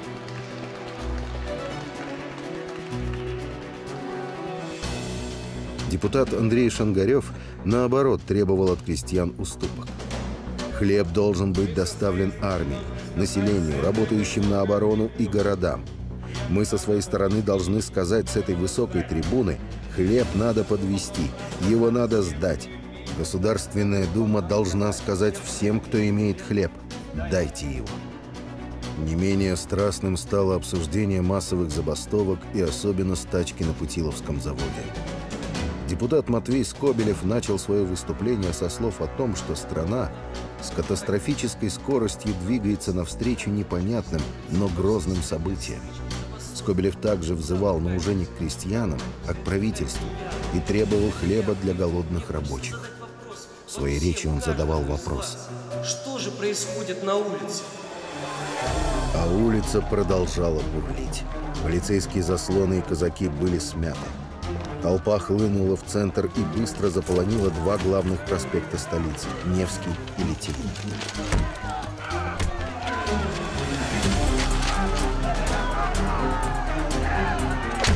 Чтобы очистить Невский Литейный от демонстрантов, власти стянули в центр Петрограда значительные силы полиции и казаков. Через час оба проспекта были свободны от митингующих. Пока городовые с казаками разгоняли народ, Государственная Дума продолжала заседать. Депутат Шангарев заявил, что парламент должен потребовать от власти, чтобы та, наконец, решила продовольственную проблему или, как заявил Шангарев, убралась вон из государства. Закончилось заседание Думы принятием резолюции, в которой правительству предлагалось улучшить снабжение продовольствием и привлечь к этому процессу представителей рабочих. Заседание закрылось, депутаты разошлись. Почти никто из них не догадывался, что манифестации и стычки с полицией были началом новой революции.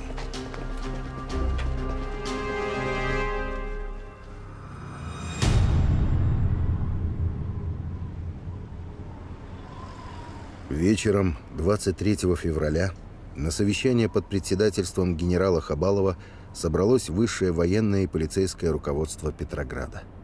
За порядок в городе теперь отвечали военные. Министр внутренних дел Протопопов, получив отчеты своих подчиненных, не обнаружил ни малейшего беспокойства решил, что имеет дело с волнениями из-за нехватки продовольствия. Министр даже предложил Хабалову выпустить воззвание к населению и объявить, что хлеба в городе достаточно. Протопопов сел в автомобиль и лично объехал центр города. После этой поездки министр убедился, что обстановка спокойная. На улицах было уже пусто, везде дежурили усиленные наряды полиции. В Петрограде установилось затишье. О событиях дня Министерство внутренних дел отрапортовало. К вечеру 23 февраля усилиями чинов полиции и воинских нарядов порядок повсеместно в столице был восстановлен. Императору, который ехал в Могилев, о случившихся массовых беспорядках снова не доложили. Глава государства по-прежнему не знал о том, что творится в его столице, и никак не мог повлиять на разворачивающиеся события.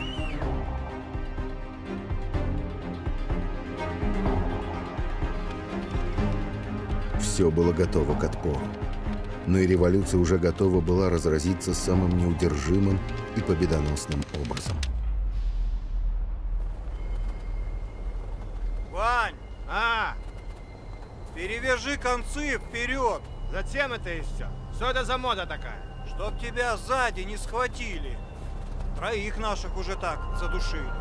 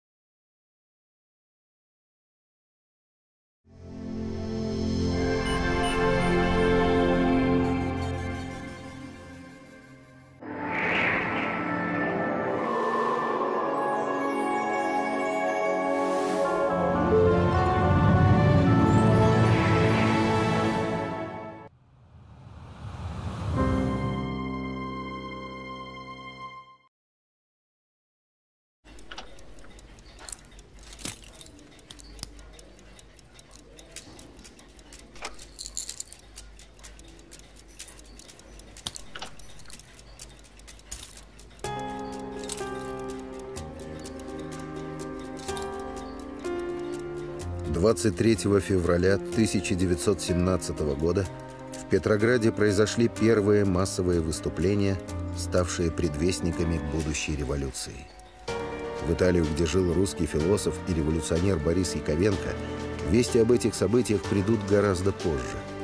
Но через семь лет в своей книге «История Великой Русской революции» он напишет «Революция началась с незначительного повода и разразилась затем с необычайной силой и быстротой, и в этом смысле неожиданно. Никто не думал, что взрыв произойдет так быстро и что события разыграются так молниеносно.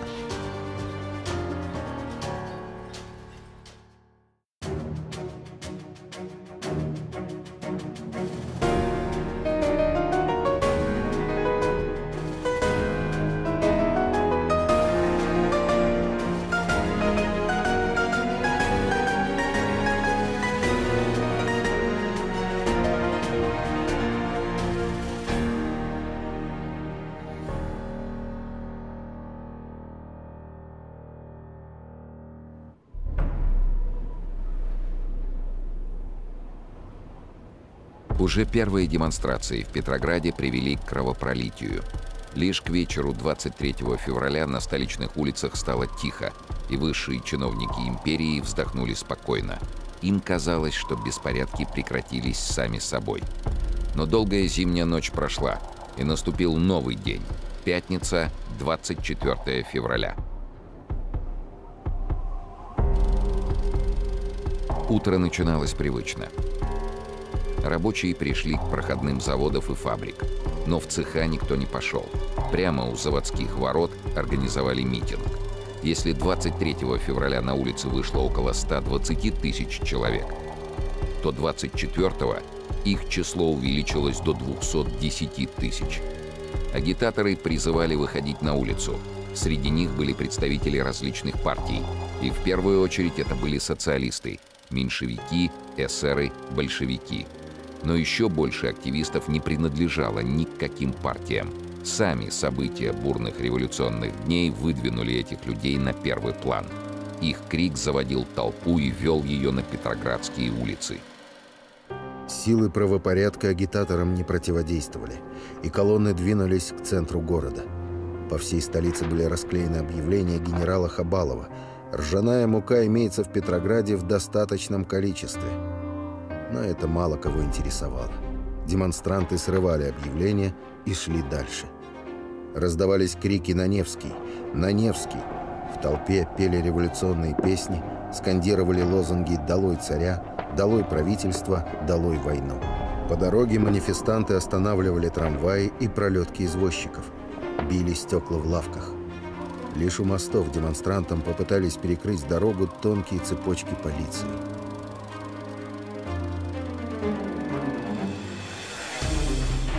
Начались стычки. В стражей порядка полетели камни и куски льда. Потом из толпы раздались и выстрелы. Казачьи разъезды никакой помощи полиции не оказали. Забастовщики стали прорываться через мосты или просто переходить Неву по льду. Конные полицейские открыли огонь. Но напор рассверепевшей толпы сдержать не удалось. Полиция разбежалась, и демонстранты заполонили центральные улицы столицы.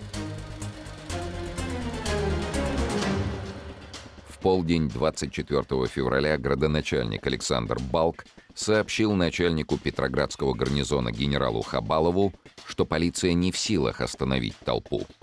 Хабалов распорядился выслать подкрепление казакам и выдвинуть в центр города гвардейские полки – Гренадерский, Кексгольмский, Московский, Финляндский – Солдаты должны были перекрыть главные магистрали и усилить охрану правительственных зданий, а также мостов, почтовых и телеграфных отделений. Генерал отдал приказ войскам употреблять в дело оружие, не останавливаясь ни перед чем для водворения порядка. К февралю 1917 года в Петрограде и пригородах дислоцировалось 380 воинских частей и армейских учреждений – Численность гарнизона превышала 460 тысяч человек. Из них в самом городе находилось около 200 тысяч солдат и офицеров. Основной силой Петроградского гарнизона считалась императорская лейб-гвардия. Старейшими полками были лейб-гвардии Преображенский, Семеновский и Измайловский. Однако сами гвардейские части вместе с офицерами находились на фронте. В Петрограде оставались лишь их запасные батальоны. Большинство солдат в них были новобранцами, не знавшими ни боевого духа, ни военных традиций своих полков. Вчерашние рабочие и крестьяне, они не имели никакого боевого опыта. Многие даже не были приведены к присяге, и дисциплина среди них была крайне низкая. Парадоксально, но именно эти формально гвардейские части оказались менее всего пригодными для наведения порядка. Ответственность за обстановку в Петрограде теперь полностью ложилась на плечи военных. В дело вступала армия, и на первый взгляд положение митингующих становилось безнадежным. Казалось, революция была обречена на поражение. Но демонстрации продолжались всю пятницу. Казаки, которые должны были разогнать манифестации, вели себя нерешительно. Часто казачьи пикеты проезжали мимо собравшихся, улыбались революционным лозунгам, кланялись демонстрантам. От этого революционные массы приходили в восторг. Все чаще слышалось «казаки за нас», «казаки за народ». Несколько веков казачество было опорой императорского престола. Но в феврале 1917-го казаки, находившиеся в столице, все более и более неохотно участвовали в разгоне демонстраций и подавлении беспорядков. Из книги Бориса Яковенко «История Великой Русской революции». На Невском произошло первое столкновение с полицией, в результате которого оказалось ранено холодным оружием несколько десятков человек. Казаки и войска обнаруживали явное нежелание прибегать к решительным мерам против толпы. А в Могилеве, в ставке верховного главнокомандующего, император Николай II занимался повседневными делами. Главной его заботой была подготовка наступления русской армии.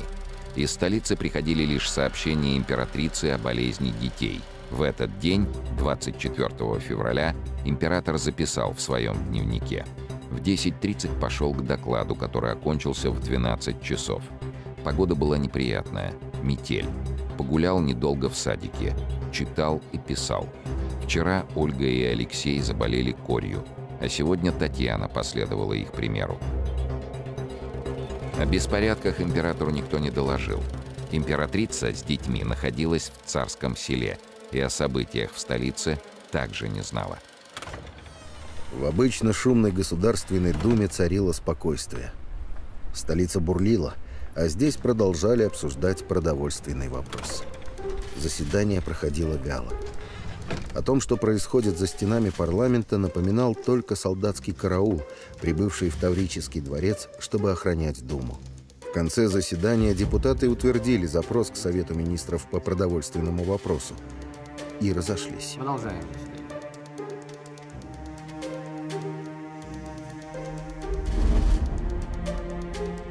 Не ощущалась тревога и в правительственных кабинетах. Генерал-майор отдельного корпуса жандармов Александр Спиридович, занимавший также пост градоначальника Ялты, вспоминал, что в этот день находился в столице и обсуждал с заместителем министра внутренних дел не революцию, а хозяйственные проблемы Крыма. В частности, вопрос ремонта знаменитой Ялтинской набережной. Генерал Спиридович, бывший начальник охраны царя, был опытным борцом с революционерами. Но даже у него не возникло тревоги. Безмятежно было и в Совете министров. Правительство заседало пять часов, но о выступлениях в Петрограде никто даже не упоминал. Министр внутренних дел Протопопов на заседании отсутствовал. А премьер-министр князь Голицын узнал о беспорядках, когда неизвестные остановили его при переезде через Невский проспект. К вечеру 24 февраля митинги и демонстрации вновь пошли на убыль. Их участники разошлись по домам, чтобы следующим утром встретиться снова. 25 февраля 1917 года, по старому стилю. Суббота. Число манифестантов выросло до 300 тысяч человек. Всюду висели объявления генерала Хабалова.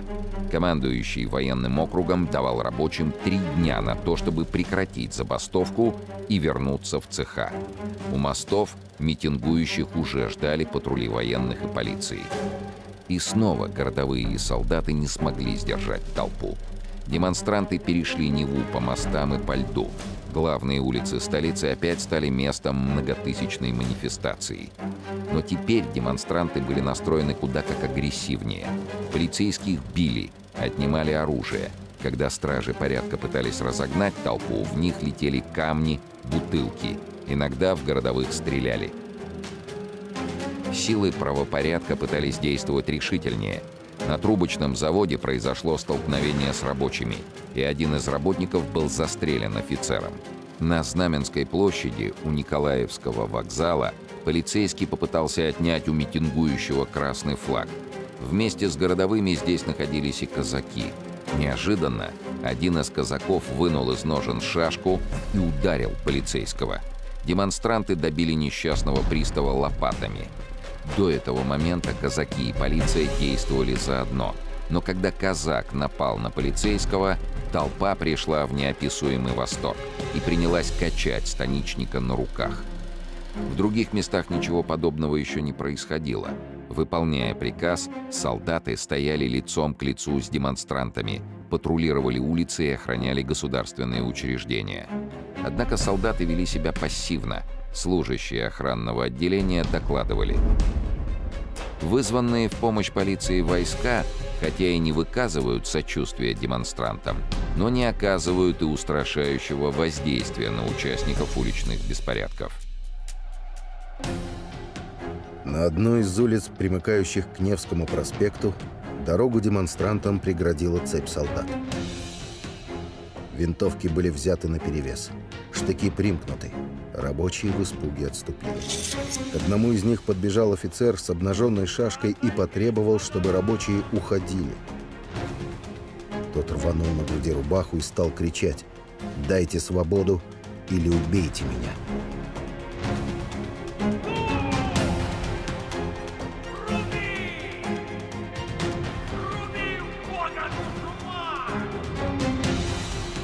Офицер вложил шашку в ножны и приказал солдатам отходить.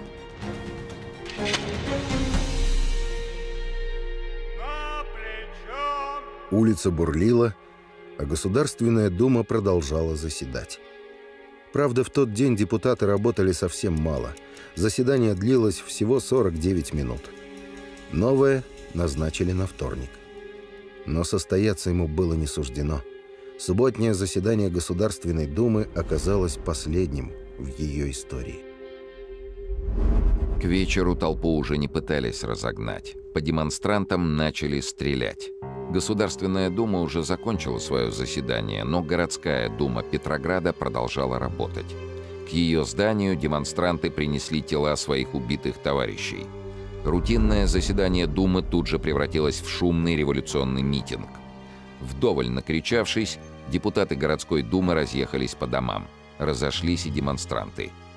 Только теперь, на третий день беспорядков, генерал Хабалов и министр внутренних дел Протопопов доложили императору о происходящем. Реакция царя была вполне закономерной. «Повелеваю, завтра же прекратить беспорядки в столице, недопустимые в тяжелое время войны с Германией и Австрией». В дневнике царь оставил такую запись. В Петрограде начались беспорядки несколько дней тому назад. К прискорбию в них стали принимать участие и войска. Отвратительное чувство быть так далеко и получать отрывочные нехорошие известия.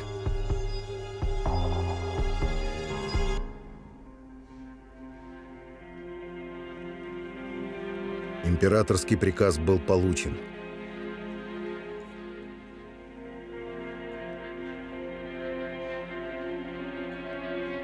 Генерал Хабалов встретился с командирами воинских частей. Решили действовать по обстоятельствам. Неагрессивные толпы разгонять с помощью кавалерии, по агрессивным и вооруженным открывать огонь. Собрался и Совет Министров. В первый раз с начала беспорядков правительство обсуждало происходящее на улицах. Министры спорили до 4 утра. В итоге согласились с планом Хабалова – который предлагал для устрашения расклеить по городу объявления с угрозой разогнать демонстрации с помощью оружия. Наступило воскресенье, 26 февраля. Утром императору в Ставку ушла телеграмма. Генерал Хабалов сообщал. Сегодня, 26 февраля, с утра в городе спокойно. Еще оптимистичнее был настроен министр внутренних дел Протопопов. Он доложил, что забастовка рабочих закончилась и порядок восстановлен. Реальность же была совершенно иной. По всему Петрограду были расставлены патрули военных. Солдаты охраняли мосты. Но в начале 12-го толпы демонстрантов двинулись к центру столицы. Мосты через Неву развели, но это толпу не остановило. Реку опять просто перешли по льду. Центр Петрограда вновь был наводнен демонстрантами. Вновь звучали призывы «Долой войну!» и «Долой самодержавие!». Объявления Хабалова просто срывали. Днем в Петрограде началась стрельба. В нескольких местах, когда демонстранты попытались прорвать армейские заслоны, по ним открыли огонь. Кое-кто не выдержал, стали разбегаться. Но в этот момент по солдатам открыли огонь и манифестанты. Кто именно стрелял, осталось неизвестным – но стреляли отовсюду – с крыш, из подворотен, из толпы. На Знаменской площади у Николаевского вокзала огонь по толпе открыли солдаты лейб-гвардии Волынского полка. Стреляли и на других улицах. Счет убитых и раненых пошел на десятки человек. Обстановка становилась все более угрожающей. На окраинах Петрограда начали появляться баррикады. Рабочие громили полицейские участки – из донесения агента охранного отделения. Невский проспект на всем его протяжении был очищен от толпы. Причем на Знаменской площади чинами полиции подобрано около 40 убитых и столько же раненых. Одновременно на углу Итальянской и Садовой улиц обнаружен труп убитого прапорщика лейб-гвардии Павловского полка с обнаженной шашкой в руке – в пять часов дня на углу Первой Рождественской улицы и Суворовского проспекта, произведенным войсками по собравшейся толпе залпом, 10 человек были убиты и несколько ранено.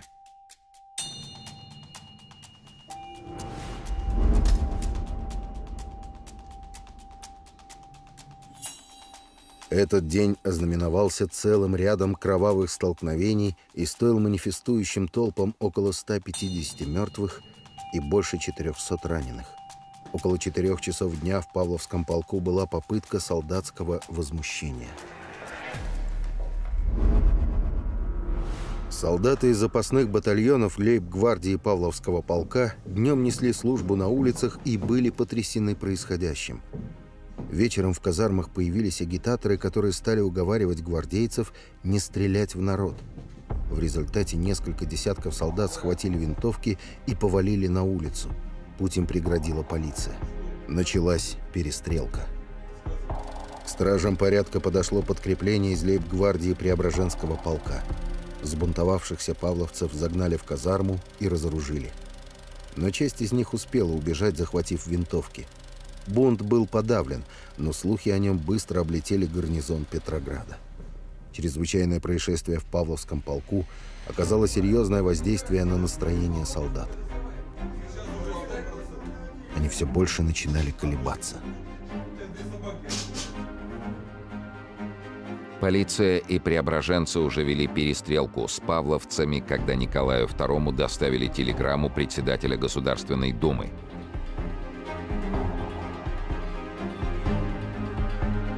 Молчавший несколько дней Родзянко теперь бил тревогу.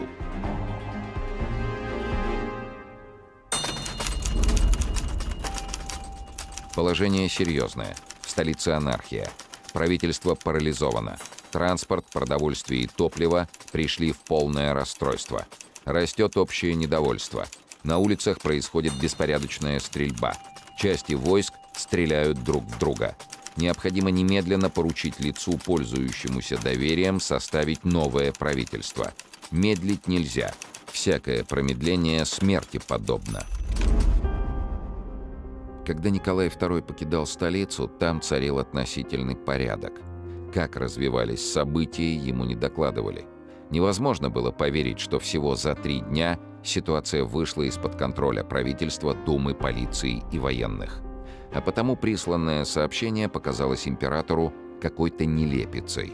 Он даже не придал значения этой телеграмме и прокомментировал ее так. Опять этот толстяк-родзянка пишет мне всякий вздор, на который я ему не буду даже отвечать. В своем дневнике он записал «Вечером поиграл в домино».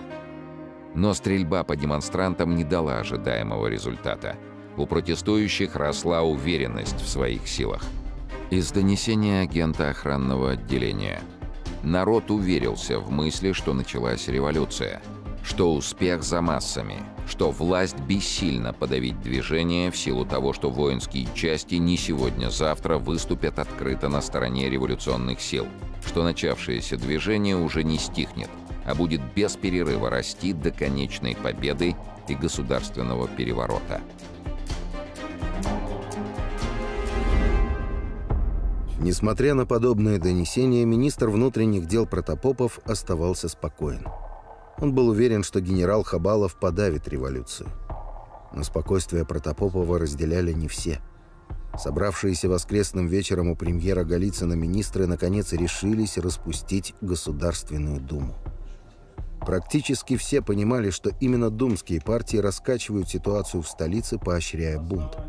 Голицын уже несколько дней имел царский указ о распуске Думы, где нужно было только проставить дату.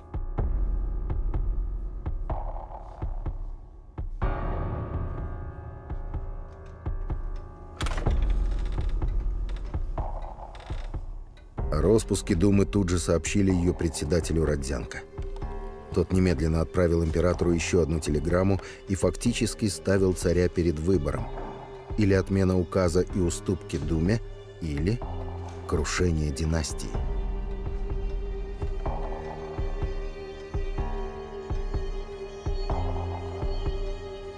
Это походило на ультиматум.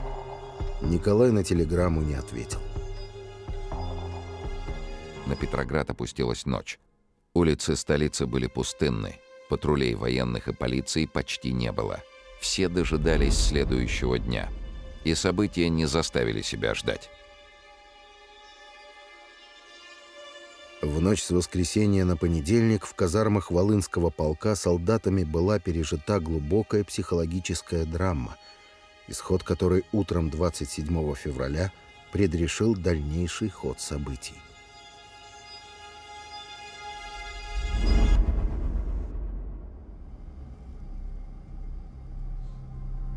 Весь предыдущий день солдаты провели лицом к лицу с революционной толпой.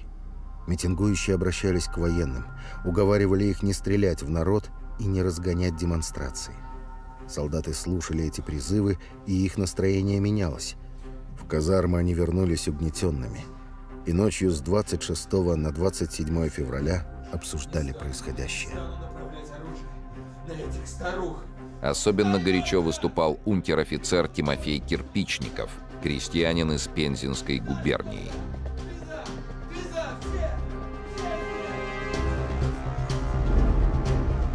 Тимофей Кирпичников из семьи крестьян-старообрядцев. Считался первым солдатом, выступившим против царского строя, за что позже временным правительством был произведен в подпрапорщики – по воспоминаниям современников, кичился этими заслугами и вел себя развязно и нагло даже с командирами. В октябре 1917-го попытался вновь поднять бунт среди солдат уже против нового правительства, но на этот раз его план сорвался. Солдаты решили, что стрелять по митингующим они больше не будут. Тимофей Кирпичников поднял своих людей затемно, Солдаты разобрали оружие и построились. Когда пришел их командир, штабс-капитан Лашкевич, солдаты отказались его приветствовать по уставу, и вместо «Здравия желаю, ваше благородие» прозвучало грозное «Ура!». Один из солдат заявил Лашкевичу, что стрелять по демонстрантам волынцы не станут. Тогда офицер достал телеграмму царя с повелением прекратить беспорядки и стал читать ее. Солдаты ответили неодобрительным гулом. Кто-то стал кричать «Уходи от нас!». Штабс-капитан вышел из казармы, чтобы позвонить в штаб и доложить о бунте. Когда Лашкевич пересекал плац, из казармы начали стрелять.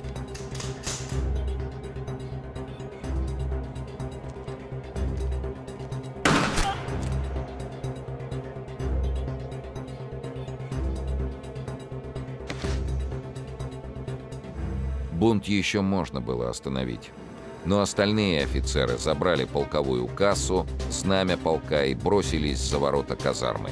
Восставшие солдаты толпой выбежали на улицу.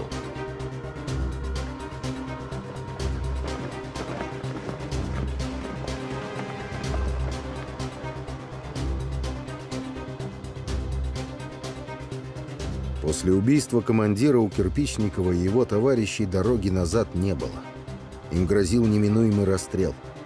И волынцы стали вовлекать в мятеж другие полки. Первыми к ним присоединились солдаты лейб-гвардии Преображенского полка. Они разобрали винтовки, патроны, взяли несколько пулеметов. Офицера, пытавшегося остановить их, закололи штыками. К бунтовщикам присоединились солдаты из литовского полка, а затем и другие части. Верная властям военная сила таяла буквально на глазах. Гарнизон столицы восстал. На улицах Петрограда снова собирались демонстранты, но теперь солдаты оказались на их стороне. Вскоре начались пожары. Было подожжено здание окружного суда. Горело жандармское управление. Пылала контрразведка. Толпа захватила главное артиллерийское управление и арсенал. При этом был убит заведовавший складами арсенала генерал Матусов. Было разгромлено Министерство внутренних дел и дом градоначальника. Толпа порой сама не осознавала, что творит. Здесь были сторонники Думы, либералы, эсеры, большевики, но большинство составляли простые рабочие, солдаты, студенты, служащие, разносчики из лавок, курсистки, домашняя прислуга, пьяницы и хулиганы. Они не принадлежали к партиям, не имели политических программ и мало представляли себе, за что именно выступают. Их ум будоражили слухи о введении карточек на хлеб, надоевшая всем война, желание немедленно разрешить все трудности и романтическая уверенность в том, что можно улучшить ситуацию прямо здесь и сейчас. Все равно каким путем. Азарт толпы, осознавшей свою силу и безнаказанность, заставлял еще вчера мирных граждан строить баррикады, бросать в полицию камни и требовать смены власти. При этом никто не смог бы объяснить, какую именно власть они хотят установить. Толпа жила по законам толпы. Услышав выкрики «бей», «жги», «круши», она била городовых, поджигала лавки и крушила полицейские участки. Люди действительно верили, что эти действия приведут Россию к какой-то иной, еще никому неведомой свободе, к справедливости, порядку и благоустройству. И даже не догадывались, что именно сейчас, сию секунду, они собственными руками уничтожают свою страну, свое будущее и будущее своих детей – не политики и революционеры, а именно эта толпа приведет страну к войнам, насилию и хаосу, каких еще не знала история. Восставшие стали штурмовать тюрьмы. Были взяты знаменитые кресты, тюрьма Литовский замок и дом предварительного заключения на Шпалерной улице. Вышедшие на свободу политические заключенные бросили в толпу клич «Идти и спасать Государственную Думу». В первых рядах выступающих были члены так называемой рабочей группы Центрального военно-промышленного комитета Гвоздев и Богданов, ранее арестованные за организацию массовых забастовок. Они призывали защитить оппозиционную думу от царского правительства, считавшегося многими средоточием темных сил, заполонивших Россию. Толпа хлынула к Таврическому дворцу. Депутаты Думы уже знали о восстании Петроградского гарнизона. Один из думских лидеров, Павел Милюков, жил прямо напротив казарм волынцев. Но когда солдаты восстали, он мирно спал. Депутата разбудил дворник и сообщил ему важные новости. Спал и депутат Керецкий. О восстании в Волынском полку ему сообщили по телефону. Спросонья Александр Федорович не сразу понял, какое значение имеет переход солдат на сторону революции, но осознав, что происходит, он бросился в Таврический дворец.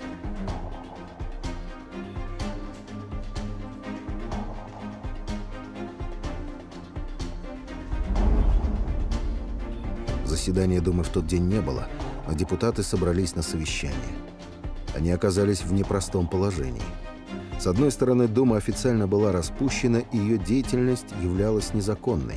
С другой, устраниться от происходящего она не могла. В отличие от Керенского, другие думцы не понимали сути происходящего. Наиболее горячие депутаты предлагали сразу объявить Думу учредительным собранием, то есть принять на себя всю полноту власти.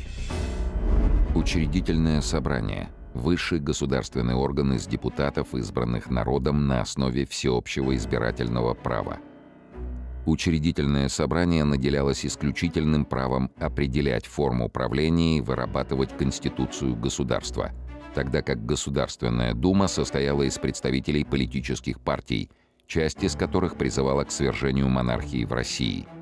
Однако брать на себя роль учредительного собрания Государственная дума не могла.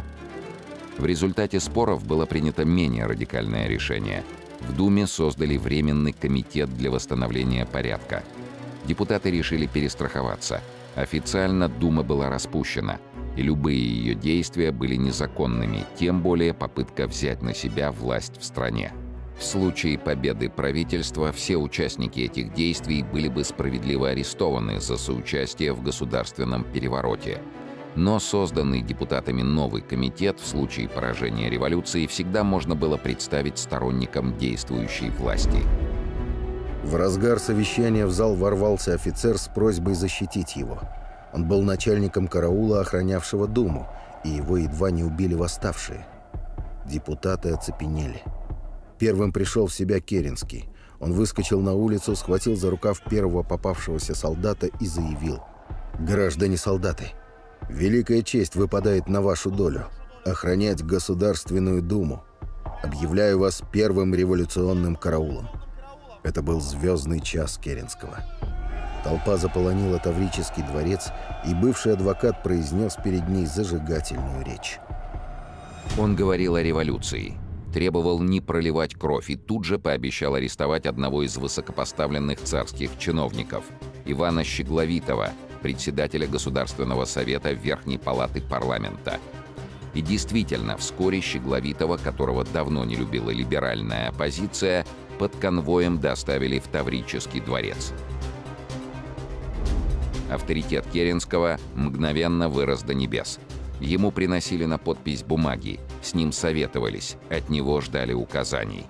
Один из журналистов спросил Керенского, «Разве вы не знаете, что в данный момент вы всемогущий в России?» «Что ж, приятно было это слышать», — ответил тот. Уличный бунт был беззаконием но когда к беспорядкам открыто присоединилась Дума, это придало действиям толпы совершенно иной характер. Павел Милюков писал в «Эмиграции». Вмешательство Государственной Думы дало уличному и военному движению центр, дало ему знамя и лозунг, и тем превратило восстание в революцию, которая кончилась свержением старого режима и династии. Положение самой Думы изменилось в одночасье. Несколько часов назад она была незаконным органом, нарушившим царский указ, а теперь возглавила государственный переворот, став для многих первым представителем новой власти. Бывший руководитель охраны императора генерал Спиридович так вспоминал об этой перемене. Теперь в Думу шел всякий, кто считал себя на стороне революции – солдат, убивший своего начальника, распропагандированный партийный рабочий, интеллигент, мечтавший за рюмкой водки о революции, радикальный журналист, беспаспортный еврей, экзальтированные девицы, молодые люди всяких взглядов и возрастов, авантюристы разных марок и выпущенные из тюрем преступники. Все стремились теперь в Государственную Думу.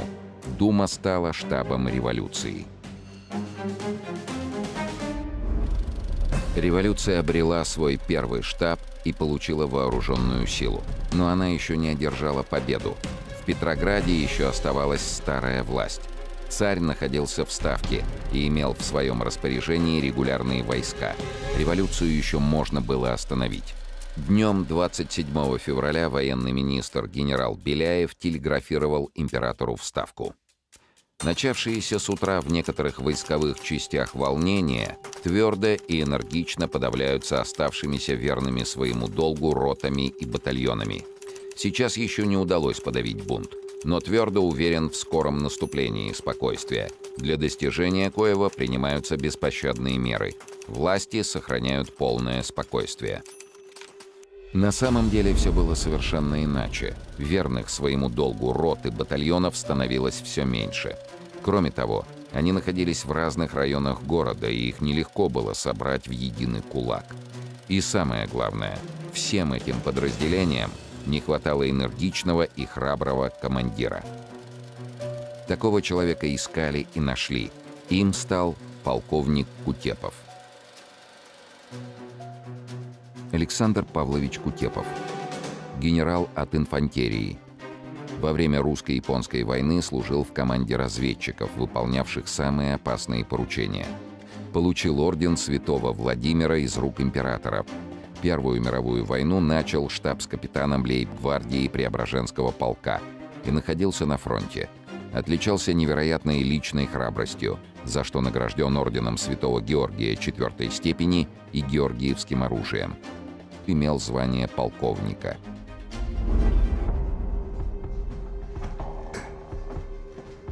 Когда Кутепов прибыл в Петроград в краткосрочный отпуск, его неожиданно вызвали в штаб Петроградского гарнизона.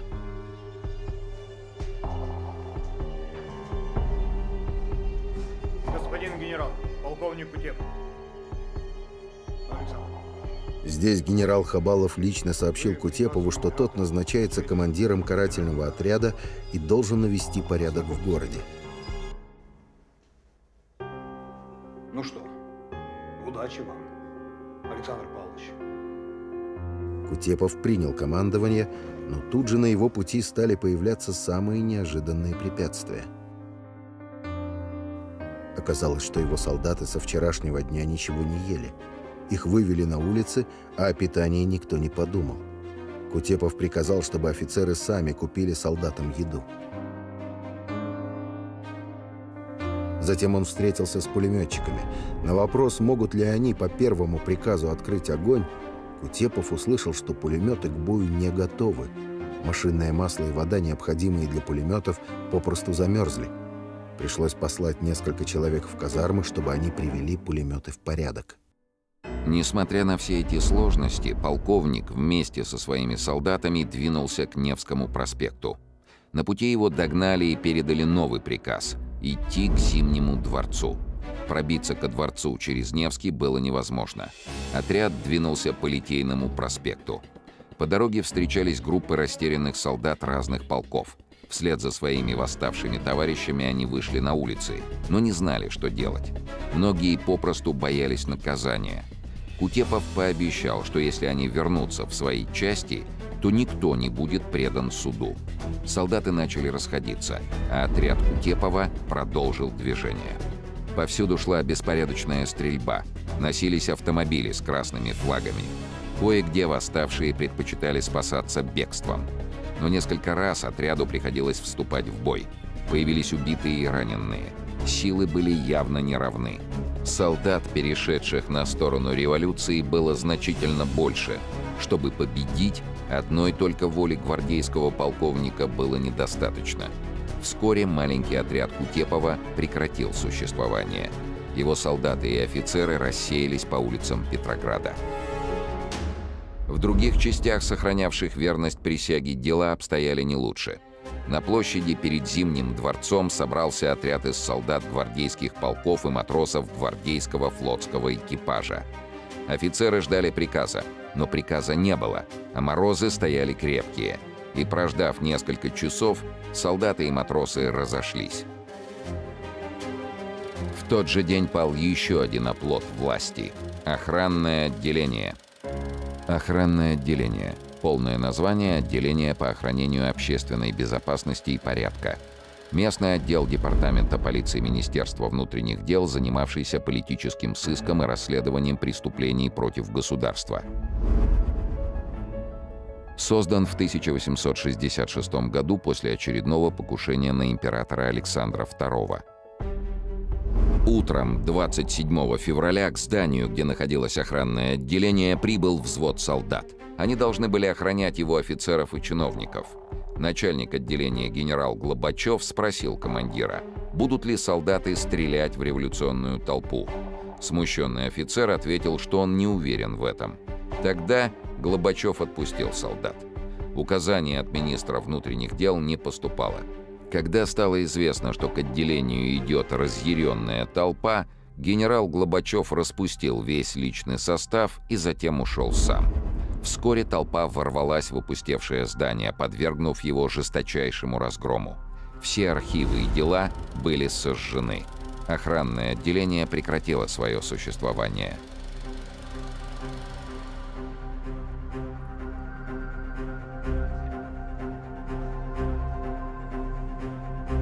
На улицах бушевала революция, когда на квартире премьер-министра Голицына собрались министры.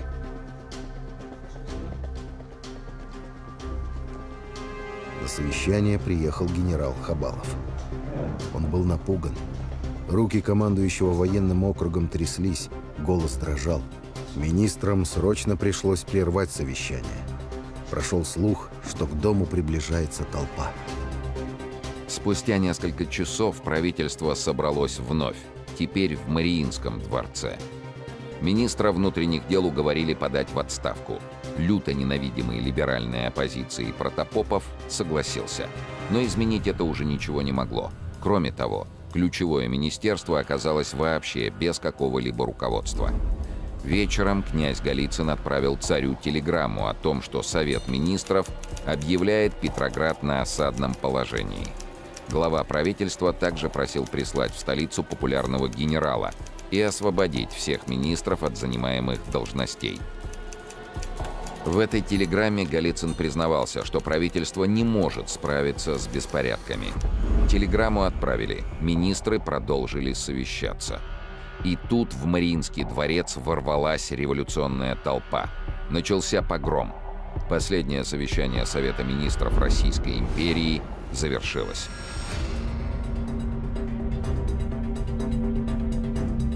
К ночи столица была решительно и бесповоротно в руках революционеров – даже не присоединившиеся к восставшим войска тщательно избегали всяческих столкновений и держали вооруженный нейтралитет. К вечеру 27 февраля на стороне революции находилось уже более 60 тысяч солдат. Остальные войска Петроградского гарнизона пока еще выполняли приказы своего начальства – Командование военным округом во главе с генералом Хабаловым собралось в здании Адмиралтейства.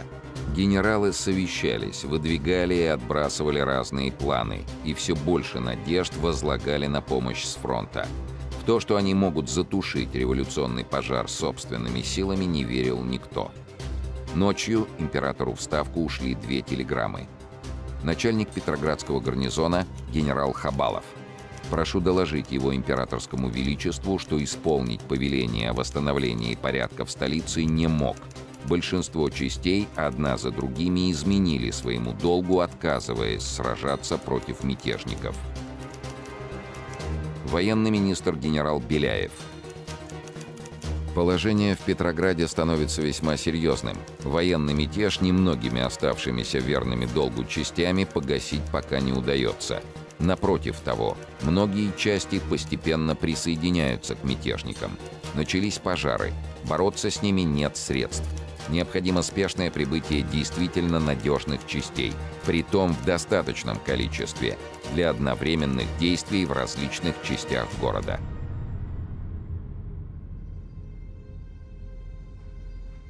После того, как отряд Кутепова рассеялся, сам полковник был вынужден скрываться в первом попавшемся доме. На улицах разъяренная толпа разыскивала офицеров. В этом же доме оказались сестры милосердия, которые предлагали полковнику переодеться санитаром, чтобы незаметно сбежать. Но Кутепов отказался –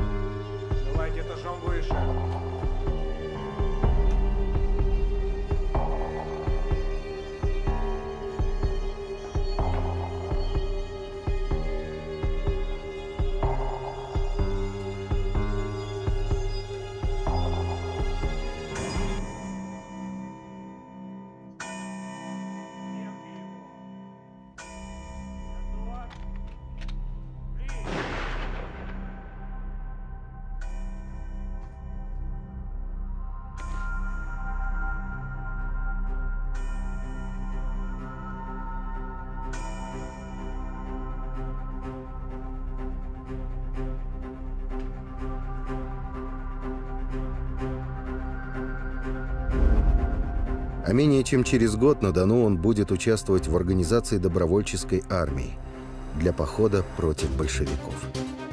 В это время к нему в штаб привели некоего офицера, который развязно сообщил Кутепову, что желает бороться с большевиками. На вопрос, кто он такой, офицер рассказал, что он был одним из первых солдат, выступивших против царского режима. Это был Тимофей Кирпичников, поднявший бунт в Волынском полку. По приказу Кутепова так называемый первый солдат революции был расстрелян на месте. Его тело оставили лежать в придорожной канаве. Вечером 27 февраля в Петрограде сопротивление всех сил, оставшихся верными царскому правительству, практически прекратилось.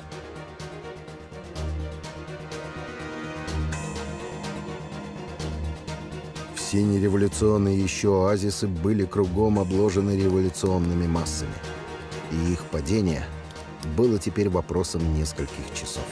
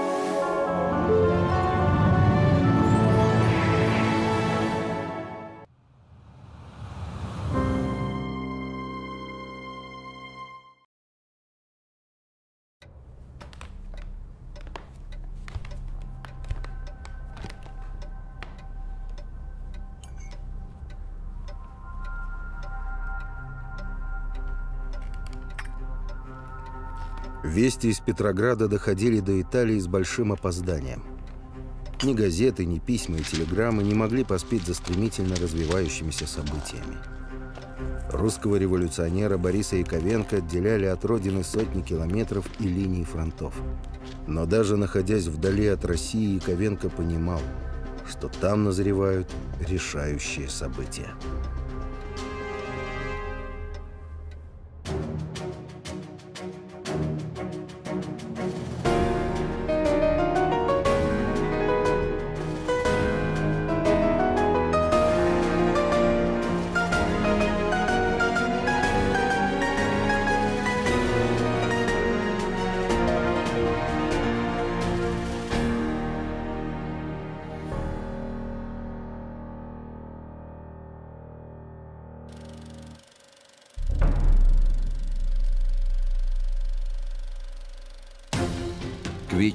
27 февраля 1917 года хаос в городе достиг наивысшей точки. К толпам митингующих присоединились взбунтовавшиеся войска. Практически все государственные органы прекратили свое существование. Толпа громила магазины, лавки, правительственные учреждения и тюрьмы. Солдаты прямо на улицах расстреливали офицеров.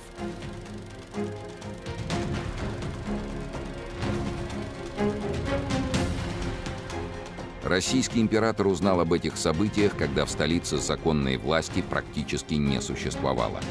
Опасность того, что стихия перекинется на всю страну и на армию, была очевидна.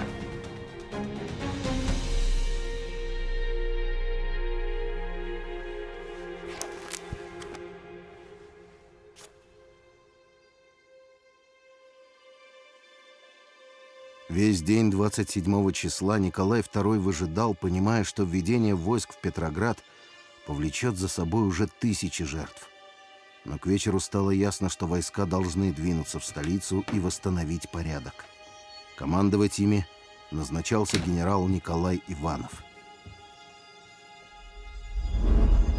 Иванов Николай Иудович, генерал от артиллерии, герой русско-турецкой и русско-японской войн. В начале Первой мировой командовал Юго-Западным фронтом. Под его началом русские войска одержали первые громкие победы и взяли Львов. Во время Великого отступления русской армии был снят с должности и назначен состоять при императоре в ставке Верховного Главнокомандующего. Пользовался полным доверием Николая II. На уже немолодого генерала возлагалась ответственная задача – потушить революционный пожар в столице в крайне сжатые сроки, не допуская лишнего кровопролития. Я рад и счастлив помочь вам, Ваше Величество. Но как это сделать? С самого начала у Иванова возникли сомнения в успехе своей миссии. Вот, господа, какие у него... Полномочия генералу дали обширные. Он назначался командующим Петроградским военным округом имел право отдать любое подозрительное лицо под суд военного трибунала, сформировать новое правительство и назначить министров. Вот, пожалуйста, ознакомьтесь. Издевается, что ли?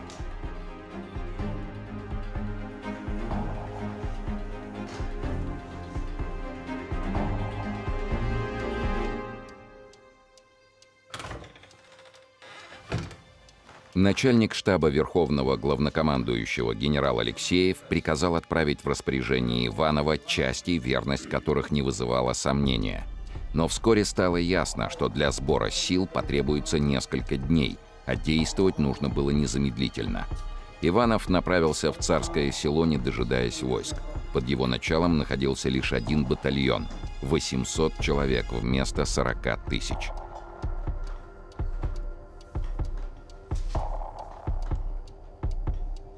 Это все.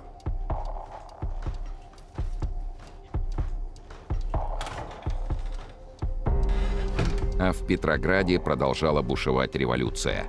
Таврический дворец, где заседала Государственная Дума, стал ее центром и штабом.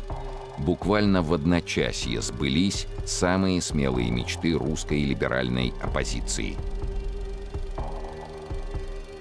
Одновременно с этим произошло событие, тогда мало кем замеченное, но именно оно оказало судьбоносное влияние на весь ход отечественной истории.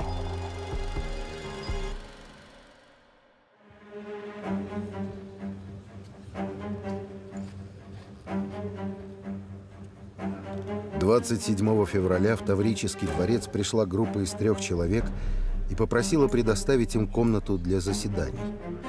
Они назвались исполнительным комитетом Совета рабочих депутатов.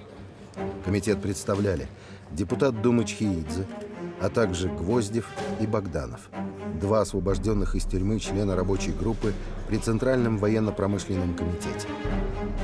Именно эта рабочая группа занималась организацией массовых забастовок в Петрограде в начале революции. Комнату представителям Совета выделили – и в ночь на 28 февраля состоялось его первое заседание.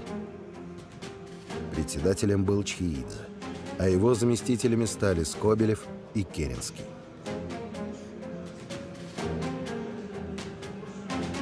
Было принято воззвание к населению Петрограда и России, а также одобрено создание собственного вооруженного формирования рабочей милиции. Заседание Совета проходило эмоционально. Публика слушала ораторов, хотя не вполне понимала, кто они такие и кого представляют. Присутствовавшие на заседании еще не знали, что они стали свидетелями исторического события. На их глазах появился новый орган власти, который вскоре станет известен как Петроградский совет рабочих и солдатских депутатов. Советы альтернативные органы власти, избираемые населением. Впервые появились во время революции 1905 года. После ее поражения прекратили свое существование. В 1917 году Советы были созданы из так называемой рабочей группы при Центральном военно-промышленном комитете, которая при поддержке оппозиционных политиков стала организатором массовых беспорядков в Петрограде. Чхиидзе, Гвоздев, Богданов, Керенский вовсе не были туда избраны. Воспользовавшись политическим хаосом, они фактически назначили себя руководить советами, а сами советы объявили органом, который выражает волю народных масс. Созданный ими временный исполком призвал рабочих избирать по одному депутату на тысячу рабочих и по одному солдату на каждую роту. Ни одного большевика в исполкоме не было. В будущем Советы во многом саботировали решение Временного правительства, стремясь захватить власть.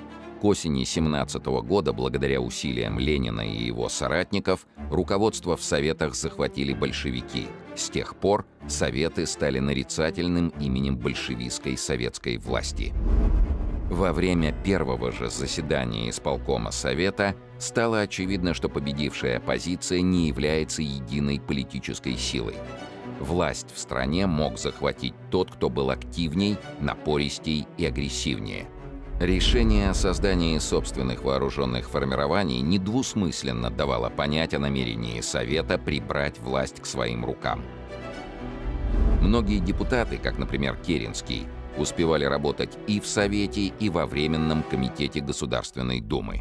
Сам Временный комитет во главе с Родзянко понимал, что действовать нужно быстро – а потому в ночь на 28 февраля комитет объявил, что берет на себя всю полноту власти в стране и издал соответствующее воззвание. Члены Временного комитета нервничали. Они знали о движении в столицу отряда генерала Иванова. Родзянко уже объявил о захвате власти, за что вполне мог быть расстрелян. Однако в страхе он все время повторял «Я не желаю бунтовать. Я никаких революций делать не желаю. При этом первые же действия новой власти давали понять ее цели. По распоряжению Родзянко, висевший в Думе царский портрет, вырвали из рамы и разорвали в клочья. Сам Родзянко слал телеграммы Алексееву и командующим фронтами с просьбой сохранять спокойствие. Ночь с 27 на 28 февраля многим показалась вечностью. Из книги Бориса Яковенко «История Великой Русской революции». Народными войсками было занято Адмиралтейство, где до сих пор скрывались еще некоторые члены старого правительства. Зимние Мариинские дворцы с Петропавловской крепостью перешли в руки революционеров окончательно еще ранним утром.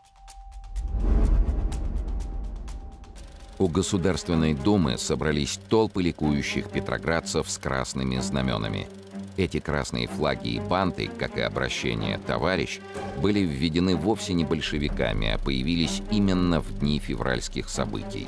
В Таврический дворец приезжали делегации. Депутаты произносили горячие речи под раскатистое «Ура!». Стоял несмолкаемый шум. Сюда же свозили задержанных офицеров и чиновников. Под арестом оказались отставные премьер-министры Борис Штюрмер и 70-летний Иван Гремыкин – этого старика подняли прямо с постели, и в здание Думы он прибыл в странном виде. Поверх ночной рубашки на нем была надета цепь ордена Андрея Первозванного, высшего ордена империи. Вскоре был арестован генерал Хабалов. Министр внутренних дел Протопопов пришел сдаваться сам. От революционного самосуда его едва успел спасти Керенский. При этом начальник Петроградского жандармского управления генерал Волков, как и многие простые стражи порядка, был зверски убит толпой. За дни февральских беспорядков только в Петрограде со стороны восставших погибло около 300 человек – 1200 человек ранены. Было убито около 80 офицеров Балтийского флота, много военнослужащих и полицейских со стороны правительства. Николай II оставался в Ставке, куда поступали тревожные телеграммы. Императрица Александра Федоровна сообщала супругу. Революция вчера приняла ужасающие размеры. Известие хуже, чем когда бы то ни было. Она просила Николая сделать несколько шагов навстречу оппозиции. Уступки необходимы. Стачки продолжаются. Много войск перешло на сторону революции. Однако царь сохранял твердость. Он отказался отправлять в отставку премьера Голицына, хотя тот сам просил об этом. Договариваться с либералами император не стал. Он очень беспокоился за жену и здоровье детей и принял решение ехать к семье в царское село. Ранним утром 28 февраля царский поезд покинул Могилев, однако до царского села он так и не добрался. В это утро Родзянко направил депутата Бубликова взять под контроль Министерство путей сообщения. Тот в сопровождении двух офицеров и отряда солдат прибыл в железнодорожное ведомство, где арестовал министра путей сообщения Войновского Кригера. В 13.50 Бубликов разослал по всей империи телеграммы – Железнодорожники. Старая власть, создавшая разруху во всех областях государственной жизни, оказалась бессильной. Комитет Государственной Думы взял в свои руки создание новой власти. Обращаюсь к вам от имени Отечества. От вас теперь зависит спасение Родины. Так весть о революции долетела до крупных городов России. Однако основное население страны узнало о ней лишь в апреле. Бубликов приказал задерживать все воинские эшелоны, чтобы остановить продвижение отряда Иванова, и распорядился взять под контроль движение императорского поезда. Вечером того же дня царский состав задержали на станции Малая Вишера, якобы из-за того, что революционеры перекрыли железную дорогу. Слухи не подтвердились, но царь согласился изменить маршрут. Вместо царского села поезд повернул на Балагое и Псков. Из дневника императора. Ночью повернули со станции Малая Вишера назад, так как Любань и Тосна оказались занятыми. Поехали на Валдай, Дно и Псков, где остановились на ночь. Гатчина и Луга тоже оказались занятыми. Стыд и позор. Доехать до царского села не удалось. А мысли и чувства все время там. Как бедный Алекс должно быть тягостно одной переживать все эти события. Помоги нам, Господь.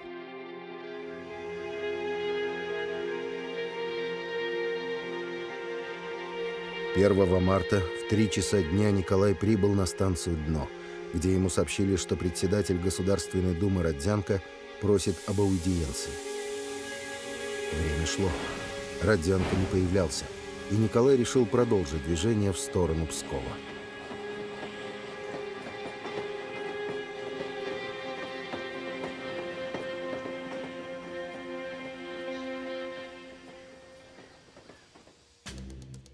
В это время Родзянко находился в столице и телеграммами пытался убедить генерала Алексеева в том, что Петроград находится под его полным контролем.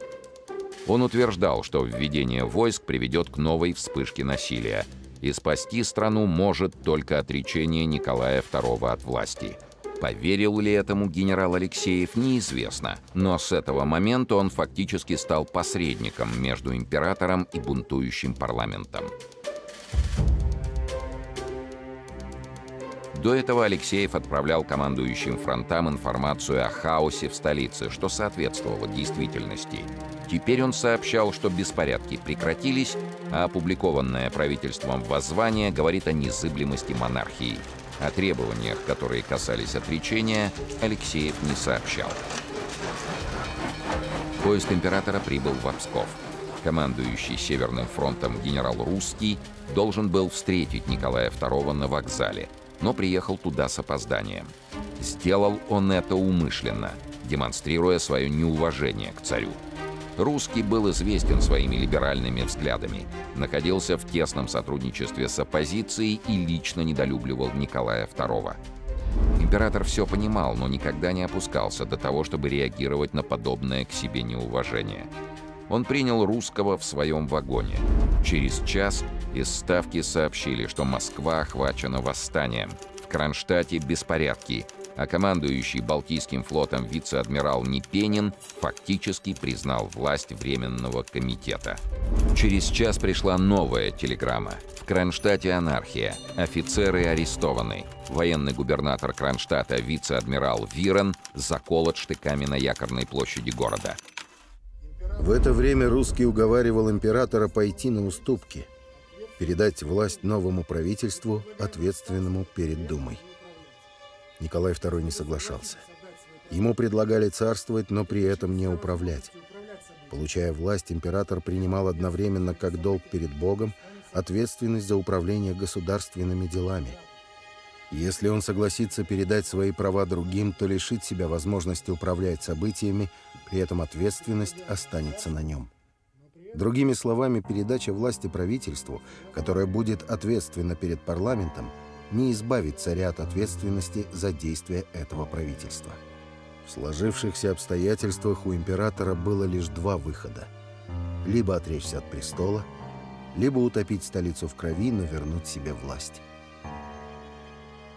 Николай пытался объяснить русскому, что люди, которые претендуют на власть и народное доверие, не имеют ни этого доверия, ни компетентности, ни нравственных способностей для управления страной.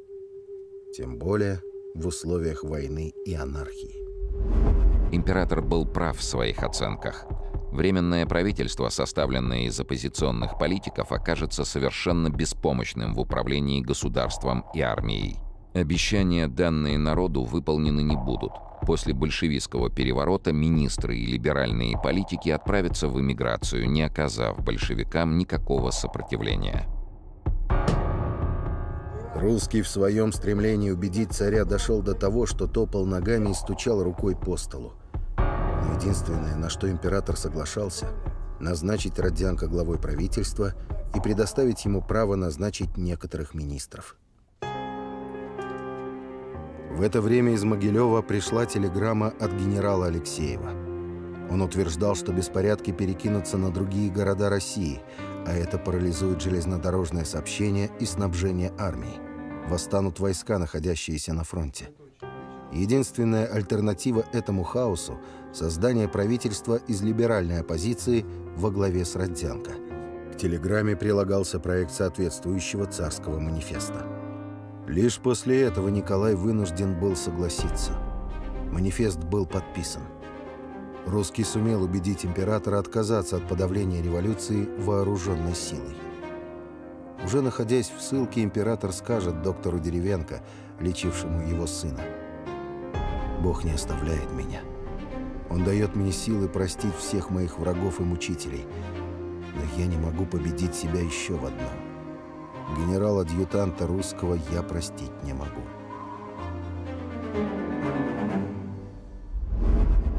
Русский немедленно связался с Родзянко и сообщил, что император дал согласие на создание правительства, ответственного перед Думой. Но Родзянко назвал решение о создании нового правительства запоздалым. Очевидно, что его величество и вы не отдаете себе отчета, что здесь происходит. Настала одна из страшнейших революций, побороть которую будет не так легко. Считаю нужным вас осведомить, что то, что предлагается вами, уже недостаточно, и династический вопрос поставлен ребром. Едва сформированное правительство, которое еще не успело даже приступить к своим обязанностям, уже требовало отречения императора. В тот же вечер, 1 марта, отряд генерала Иванова прибыл в Царское село.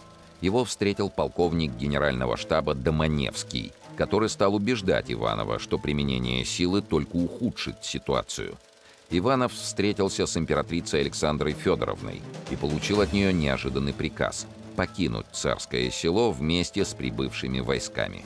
Императрица не желала братоубийственного кровопролития. «Не надо стрельбы, не надо стрельбы», — повторяла она. Вскоре Иванов получил телеграмму от императора. «Надеюсь, прибыли благополучно. Прошу до моего приезда и доклада мне никаких мер не предпринимать». Против решительных действий Иванова возражал и генерал Алексеев. Он писал, что в Петрограде войска подчинились Государственной Думе и ждут приезда императора для назначения новых выборов. Поэтому Иванову нужно отказаться от применения силы. Однако Иванов с одним батальоном и не мог предпринять никаких мер.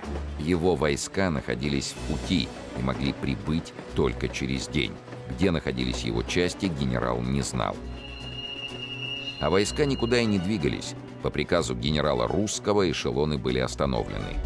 Иванов направился на станцию Александровскую, где находился выделенный в его распоряжение Тарутинский полк, но доехал лишь до станции Сусанина. Эшелон загнали в тупик, а Иванову вручили телеграмму от комиссара Временного комитета Бубликова. Тот угрожал, что в случае продвижения к Петрограду войска Иванова будут обстреляны из артиллерии. Вскоре Иванову поступило распоряжение от императора вернуть на фронт все собранные для похода на Петроград части. Так закончилась последняя попытка восстановить порядок в столице Российской империи. Генерал Иванов не знал ни о разговоре императора с русским, ни о том, что накануне вечером 1 марта произошло совместное заседание Временного комитета и Петроградского совета по формированию нового правительства – Временный комитет, захвативший власть, обнаружил себя в полной власти толпы, собравшейся возле дворца. И симпатии этой толпы были на стороне Петроградского совета, хотя заседавших представителей совета народ не выбирал. Сам совет этим умело пользовался и поставил условие – Николай II должен отречься от престола. Власть от Временного комитета перешла к Временному правительству. Его председателем стал князь Георгий Львов – Керенский – министром юстиции. В состав правительства вошли многие члены Временного комитета Думы, а вот места для ее бывшего председателя в нем не нашлось.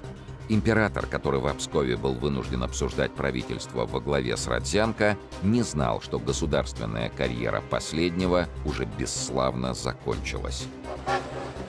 В Петрограде установилось двоевластие. С одной стороны, бывшие депутаты Думы совместно с Советом рабочих депутатов избрали Временное правительство. С другой, сам Совет претендовал на то, чтобы взять власть в свои руки. Но оставался законный правитель России, император Николай II, который мог собрать еще сотни отрядов, чтобы подавить революцию. Участникам переворота требовалось любой ценой добиться его отречения от престола. Для этого в Псков отправились Александр Гучков, получивший пост военного министра, и депутат Шульгин.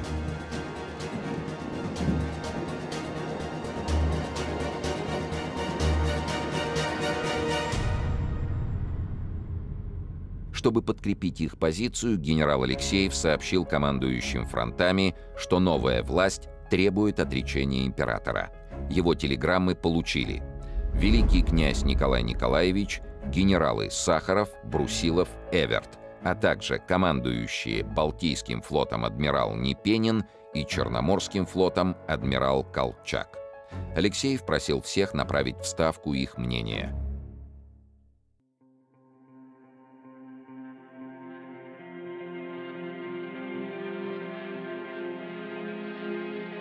Император не знал об этих телеграммах. Но он прекрасно понимал, какие беды обрушатся на страну после того, как она окажется в руках властолюбивых политиков. Он знал, что никакого народного доверия они не имеют и опираются лишь на рев толпы. А прикрываться все эти политиканы будут им, императором. И отвечать перед народом придется ему. И царь принял решение. Когда на следующий день Николай прогуливался по перрону, он встретил генерала Русского – Император сообщил генералу, что склоняется к отречению от престола.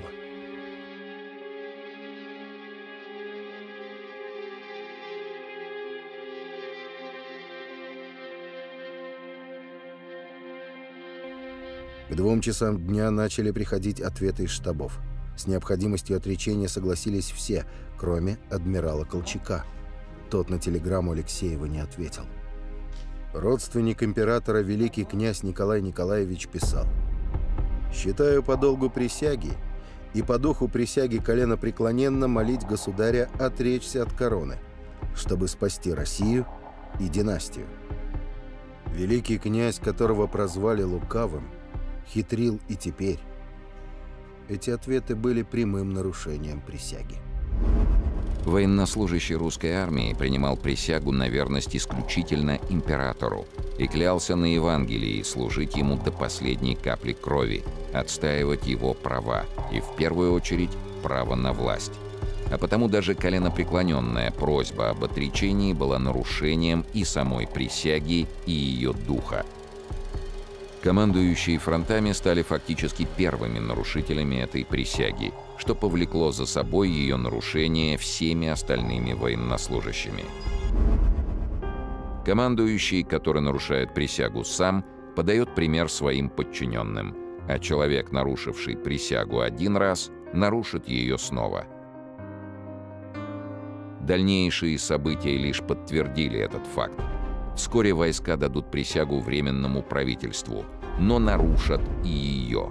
В дальнейшем большинство офицеров и генералов присягнут уже новой власти и перейдут на службу большевикам.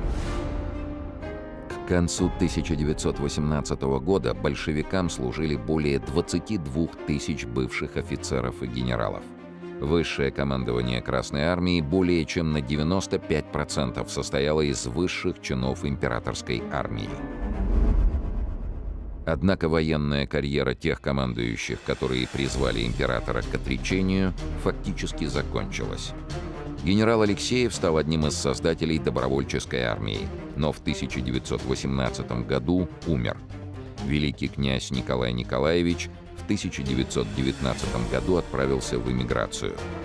Генерал Брусилов перешел на службу в Красную армию, где занимал скромную должность инспектора кавалерии. Генерал Эверт арестован большевиками и убит конвоирами по дороге в Москву. Генерал Сахаров расстрелян бандитами в Крыму. Адмирал Непенин был зверски убит в Кронштадте, а его труп выставили на глумление – Генерал Русский арестован большевиками и зарезан председателем Северо-Кавказской ЧК Атарбековым.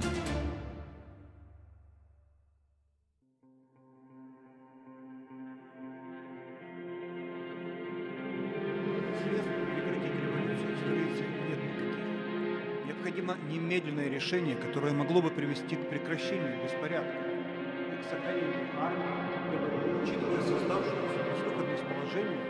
я непоколебимо верный от решения, согласованного с заявлением председателя Государственной Думы, как единственное, видимо, способное прекратить революцию и спасти Россию от ужасов анархии. Для сохранения возможности продолжить биться с внешним врагом является решение пойти навстречу уже высказанным условиям, дабы промедление не дало пищи... Получив согласие генералов на отречение, русский прибыл к императору. Николай II выслушал его спокойно, а затем ответил. Я решился. Я отказываюсь от престола. Сказав это, царь перекрестился. Генералу Алексееву он отправил телеграмму. Во имя блага, спокойствия и спасения горячо любимой России я готов отречься от престола в пользу моего сына. Прошу всех служить ему верно и нелицемерно. Николай. Регентом при несовершеннолетнем Алексее становился младший брат царя, великий князь Михаил Александрович. Первыми об отречении императора узнали члены его свиты. Это сообщение всех шокировало. Но Николай показал стопку телеграмм от командующих фронтами и сказал, «А что мне осталось делать? Меня все предали, даже Николаша», имея в виду великого князя Николая Николаевича. На вопрос своих приближенных, чем он собирается заняться, император ответил, что хочет посвятить себя воспитанию сына. Но личный врач царя Федоров заметил, что сыну императора, Алексею, скорее всего придется жить в семье регента, то есть великого князя Михаила. Осознав, что его могут лишить и сына, Николай внес изменения в акт об отречении.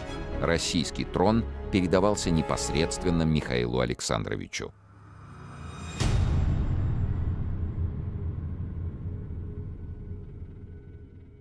Вечером того же дня в Псков прибыли Гучков и Шульгин. Николай подписал акт об отречении. Назначил князя Львова председателем Совета Министров, а великого князя Николая Николаевича – верховным главнокомандующим. Что ожидает страну это сложное для нее время? Тем более, когда идет война, Ваше Величество. Ночью он отбыл в Ставку и записал в дневнике. Час ночи уехал из Пскова с тяжелым чувством пережитого. Кругом измена и трусость. И обман.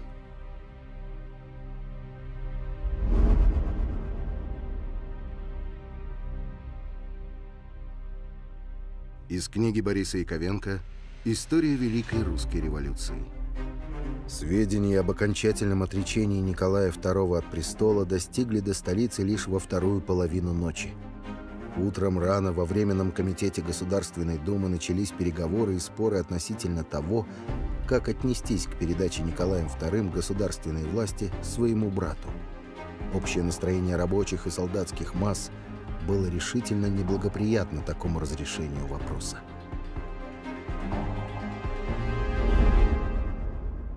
Утром 3 марта в некоторых воинских частях началась присяга новому царю Михаилу II. Но престол он так и не получил.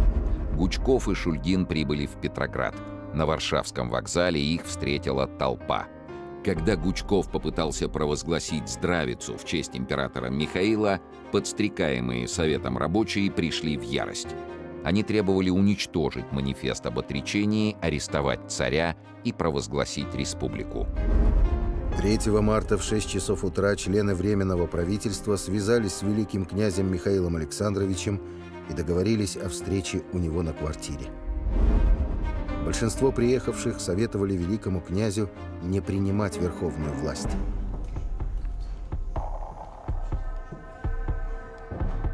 Правительство одно, без монарха, подобно утлой ладьи, которая может потонуть в океане народных волнений. Правительство одно без него не выживет. Ну, ничего в этом не Я... Я уверен. Да бросьте. Михаил потребовал отдельного разговора с Родзянко и князем Львовым.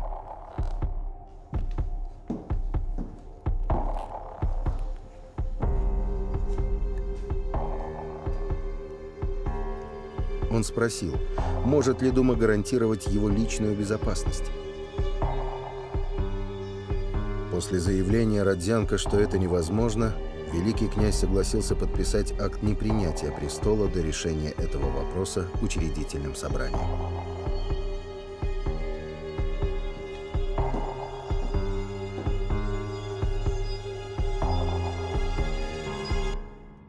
Согласно подписанному акту, Временное правительство обязалось в кратчайшие сроки обеспечить созыв учредительного собрания.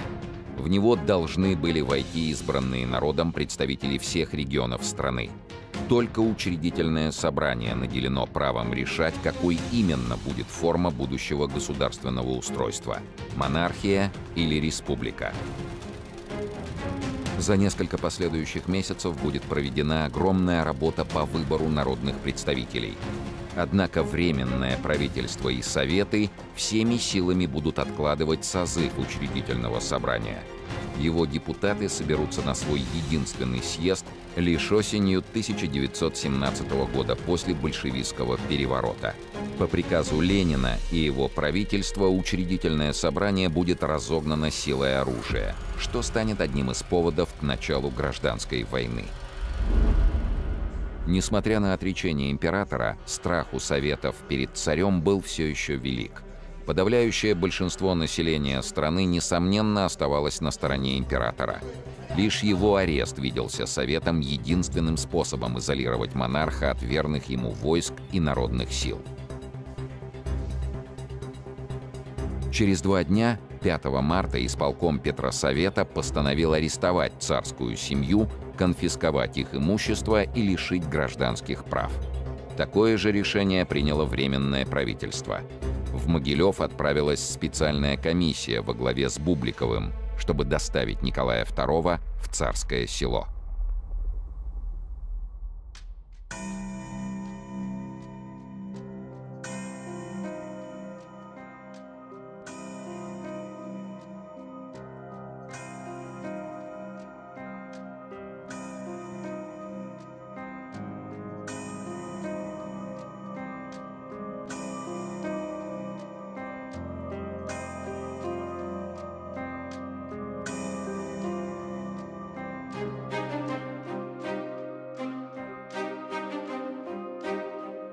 Утром 8 марта в Могилеве в зале губернаторского дома состоялось прощание с императором, на котором присутствовали все офицеры ставки и по одному солдату от каждой части.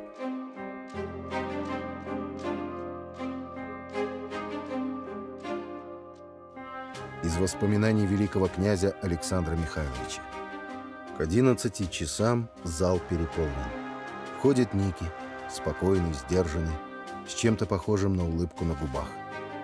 Он благодарит штаб, просит всех забыть вражду, служить верой и правдой России и вести нашу армию к победе.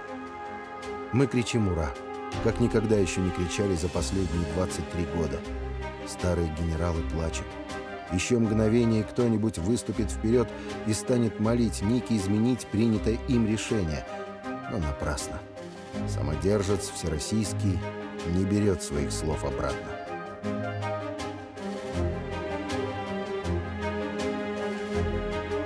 Николай издал прощальный приказ войскам, в котором завещал сражаться до победы и повиноваться Временному правительству.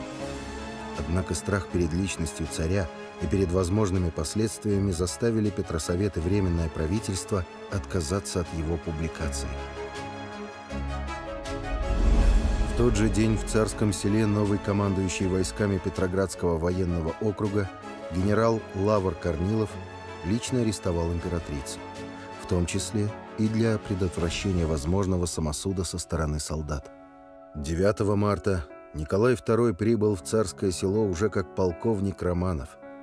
Император выполнил свой долг перед страной и народом, как он его видел, чувствовал и понимал. Новую власть он просил об одном – Дайте мне здесь жить с моей семьей, самым простым крестьянином, зарабатывающим свой хлеб. Пошлите нас в самый укромный уголок нашей Родины, но оставьте нас в России.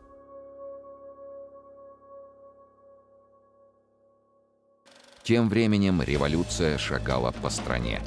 Первые дни после ее победы многим запомнились как сплошной праздник. Незнакомые люди бросались друг другу в объятия. То и дело возникали митинги. Общественная жизнь пила ключом. За популярность боролись десятки старых и новых партий.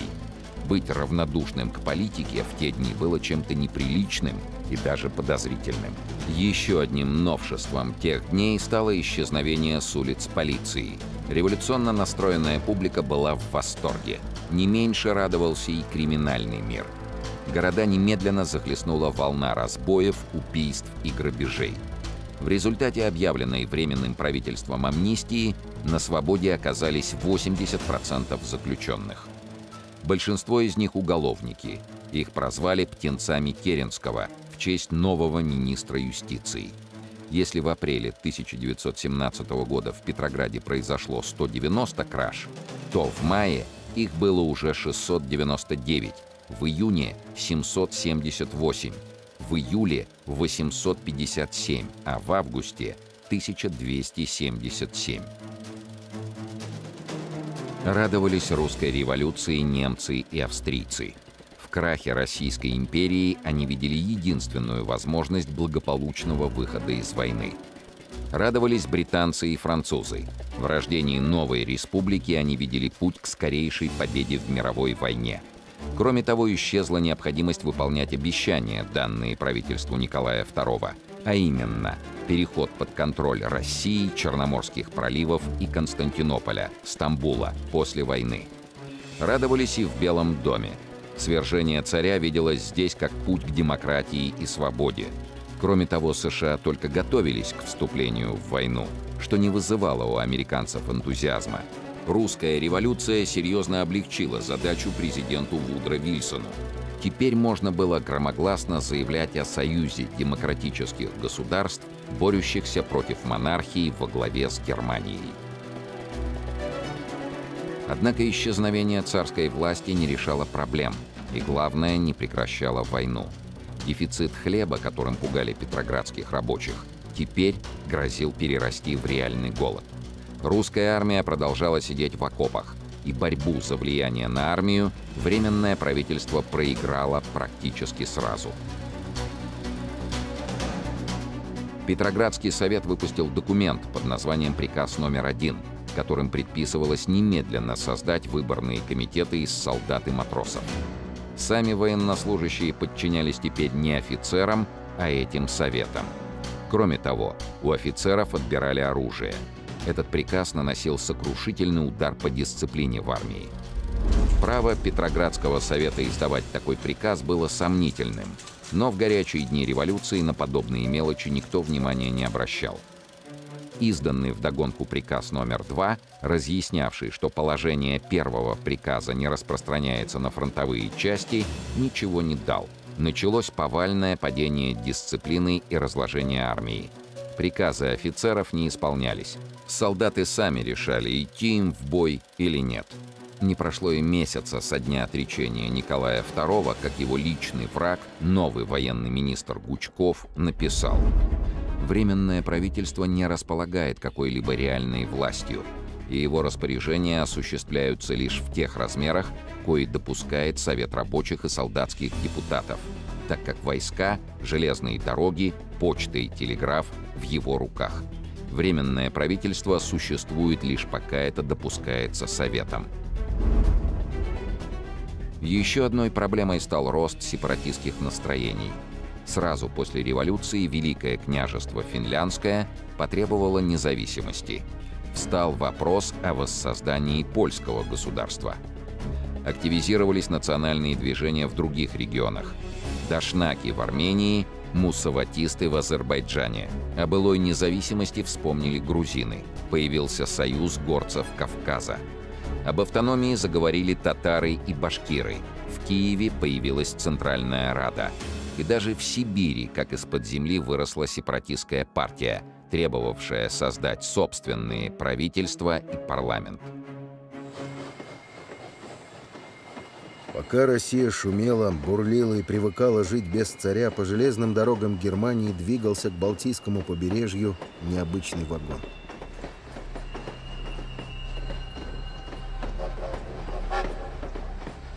Три из четырех его дверей были опломбированы. Пассажиры вагона общались с внешним миром только через посредников, двух офицеров немецкого генерального штаба и швейцарского социал-демократа Фридриха Платтена.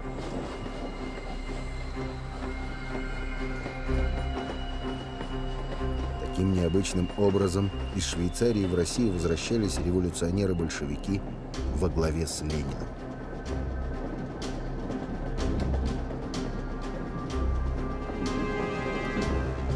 из воспоминаний германского генерала Макса Гофмана. Разложение, внесенное в русскую армию революции, мы, естественно, стремились усилить средствами пропаганды. В тылу кому-то поддерживавшему отношения с жившими в Швейцарии русскими пришла в голову мысль использовать некоторых из этих русских, чтобы еще скорее уничтожить дух русской армии и отравить ее ядом. Путь в Россию через страны Антанты, Францию и Италию был для Ленина закрыт. Его просто посадили бы в тюрьму. Оставалась Германия.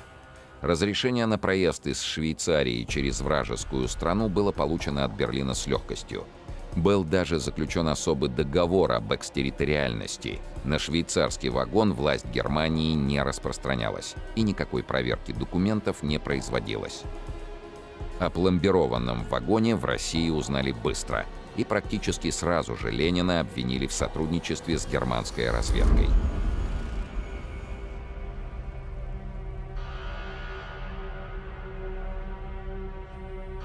Из книги Бориса Яковенко «История Великой Русской революции». 3 апреля прибыл в Петроград Ленин с товарищами, проехав предварительно через Германию в пломбированном вагоне. Этот поступок Ленина вызвал всеобщее негодование – Протестовали не только либеральные газеты, но протестовал сам народ и протестовали солдаты. Россию ждала новая революция, а участников февральской драмы ждала трагическая судьба. Генерал Иванов примет участие в гражданской войне и умрет от тифа.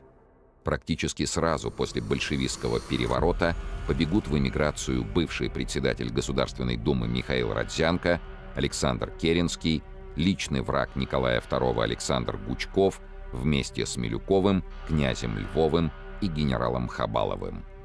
Депутат Бубликов, арестовавший царя, сбежит во Францию, даже не дождавшись Октябрьского переворота.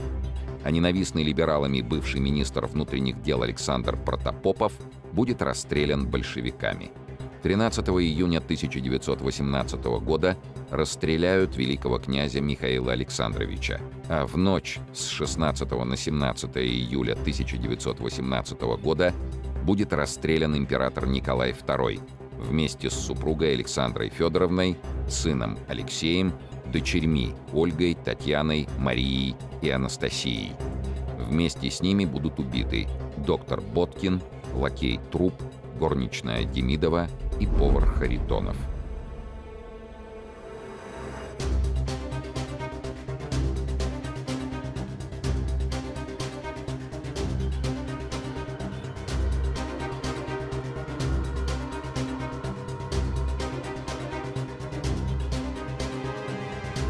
Все эти события произойдут после февральского переворота и радостных ликований о якобы победившей демократии. А пока ни Борис Яковенко, ни члены Временного правительства, ни митингующие толпы на улицах не знали, что результатом свержения императора и либеральных побед станет Октябрьский переворот. Страну ждал красный и белый террор, жесточайшая диктатура и невиданная по размаху и жертвам гражданская война.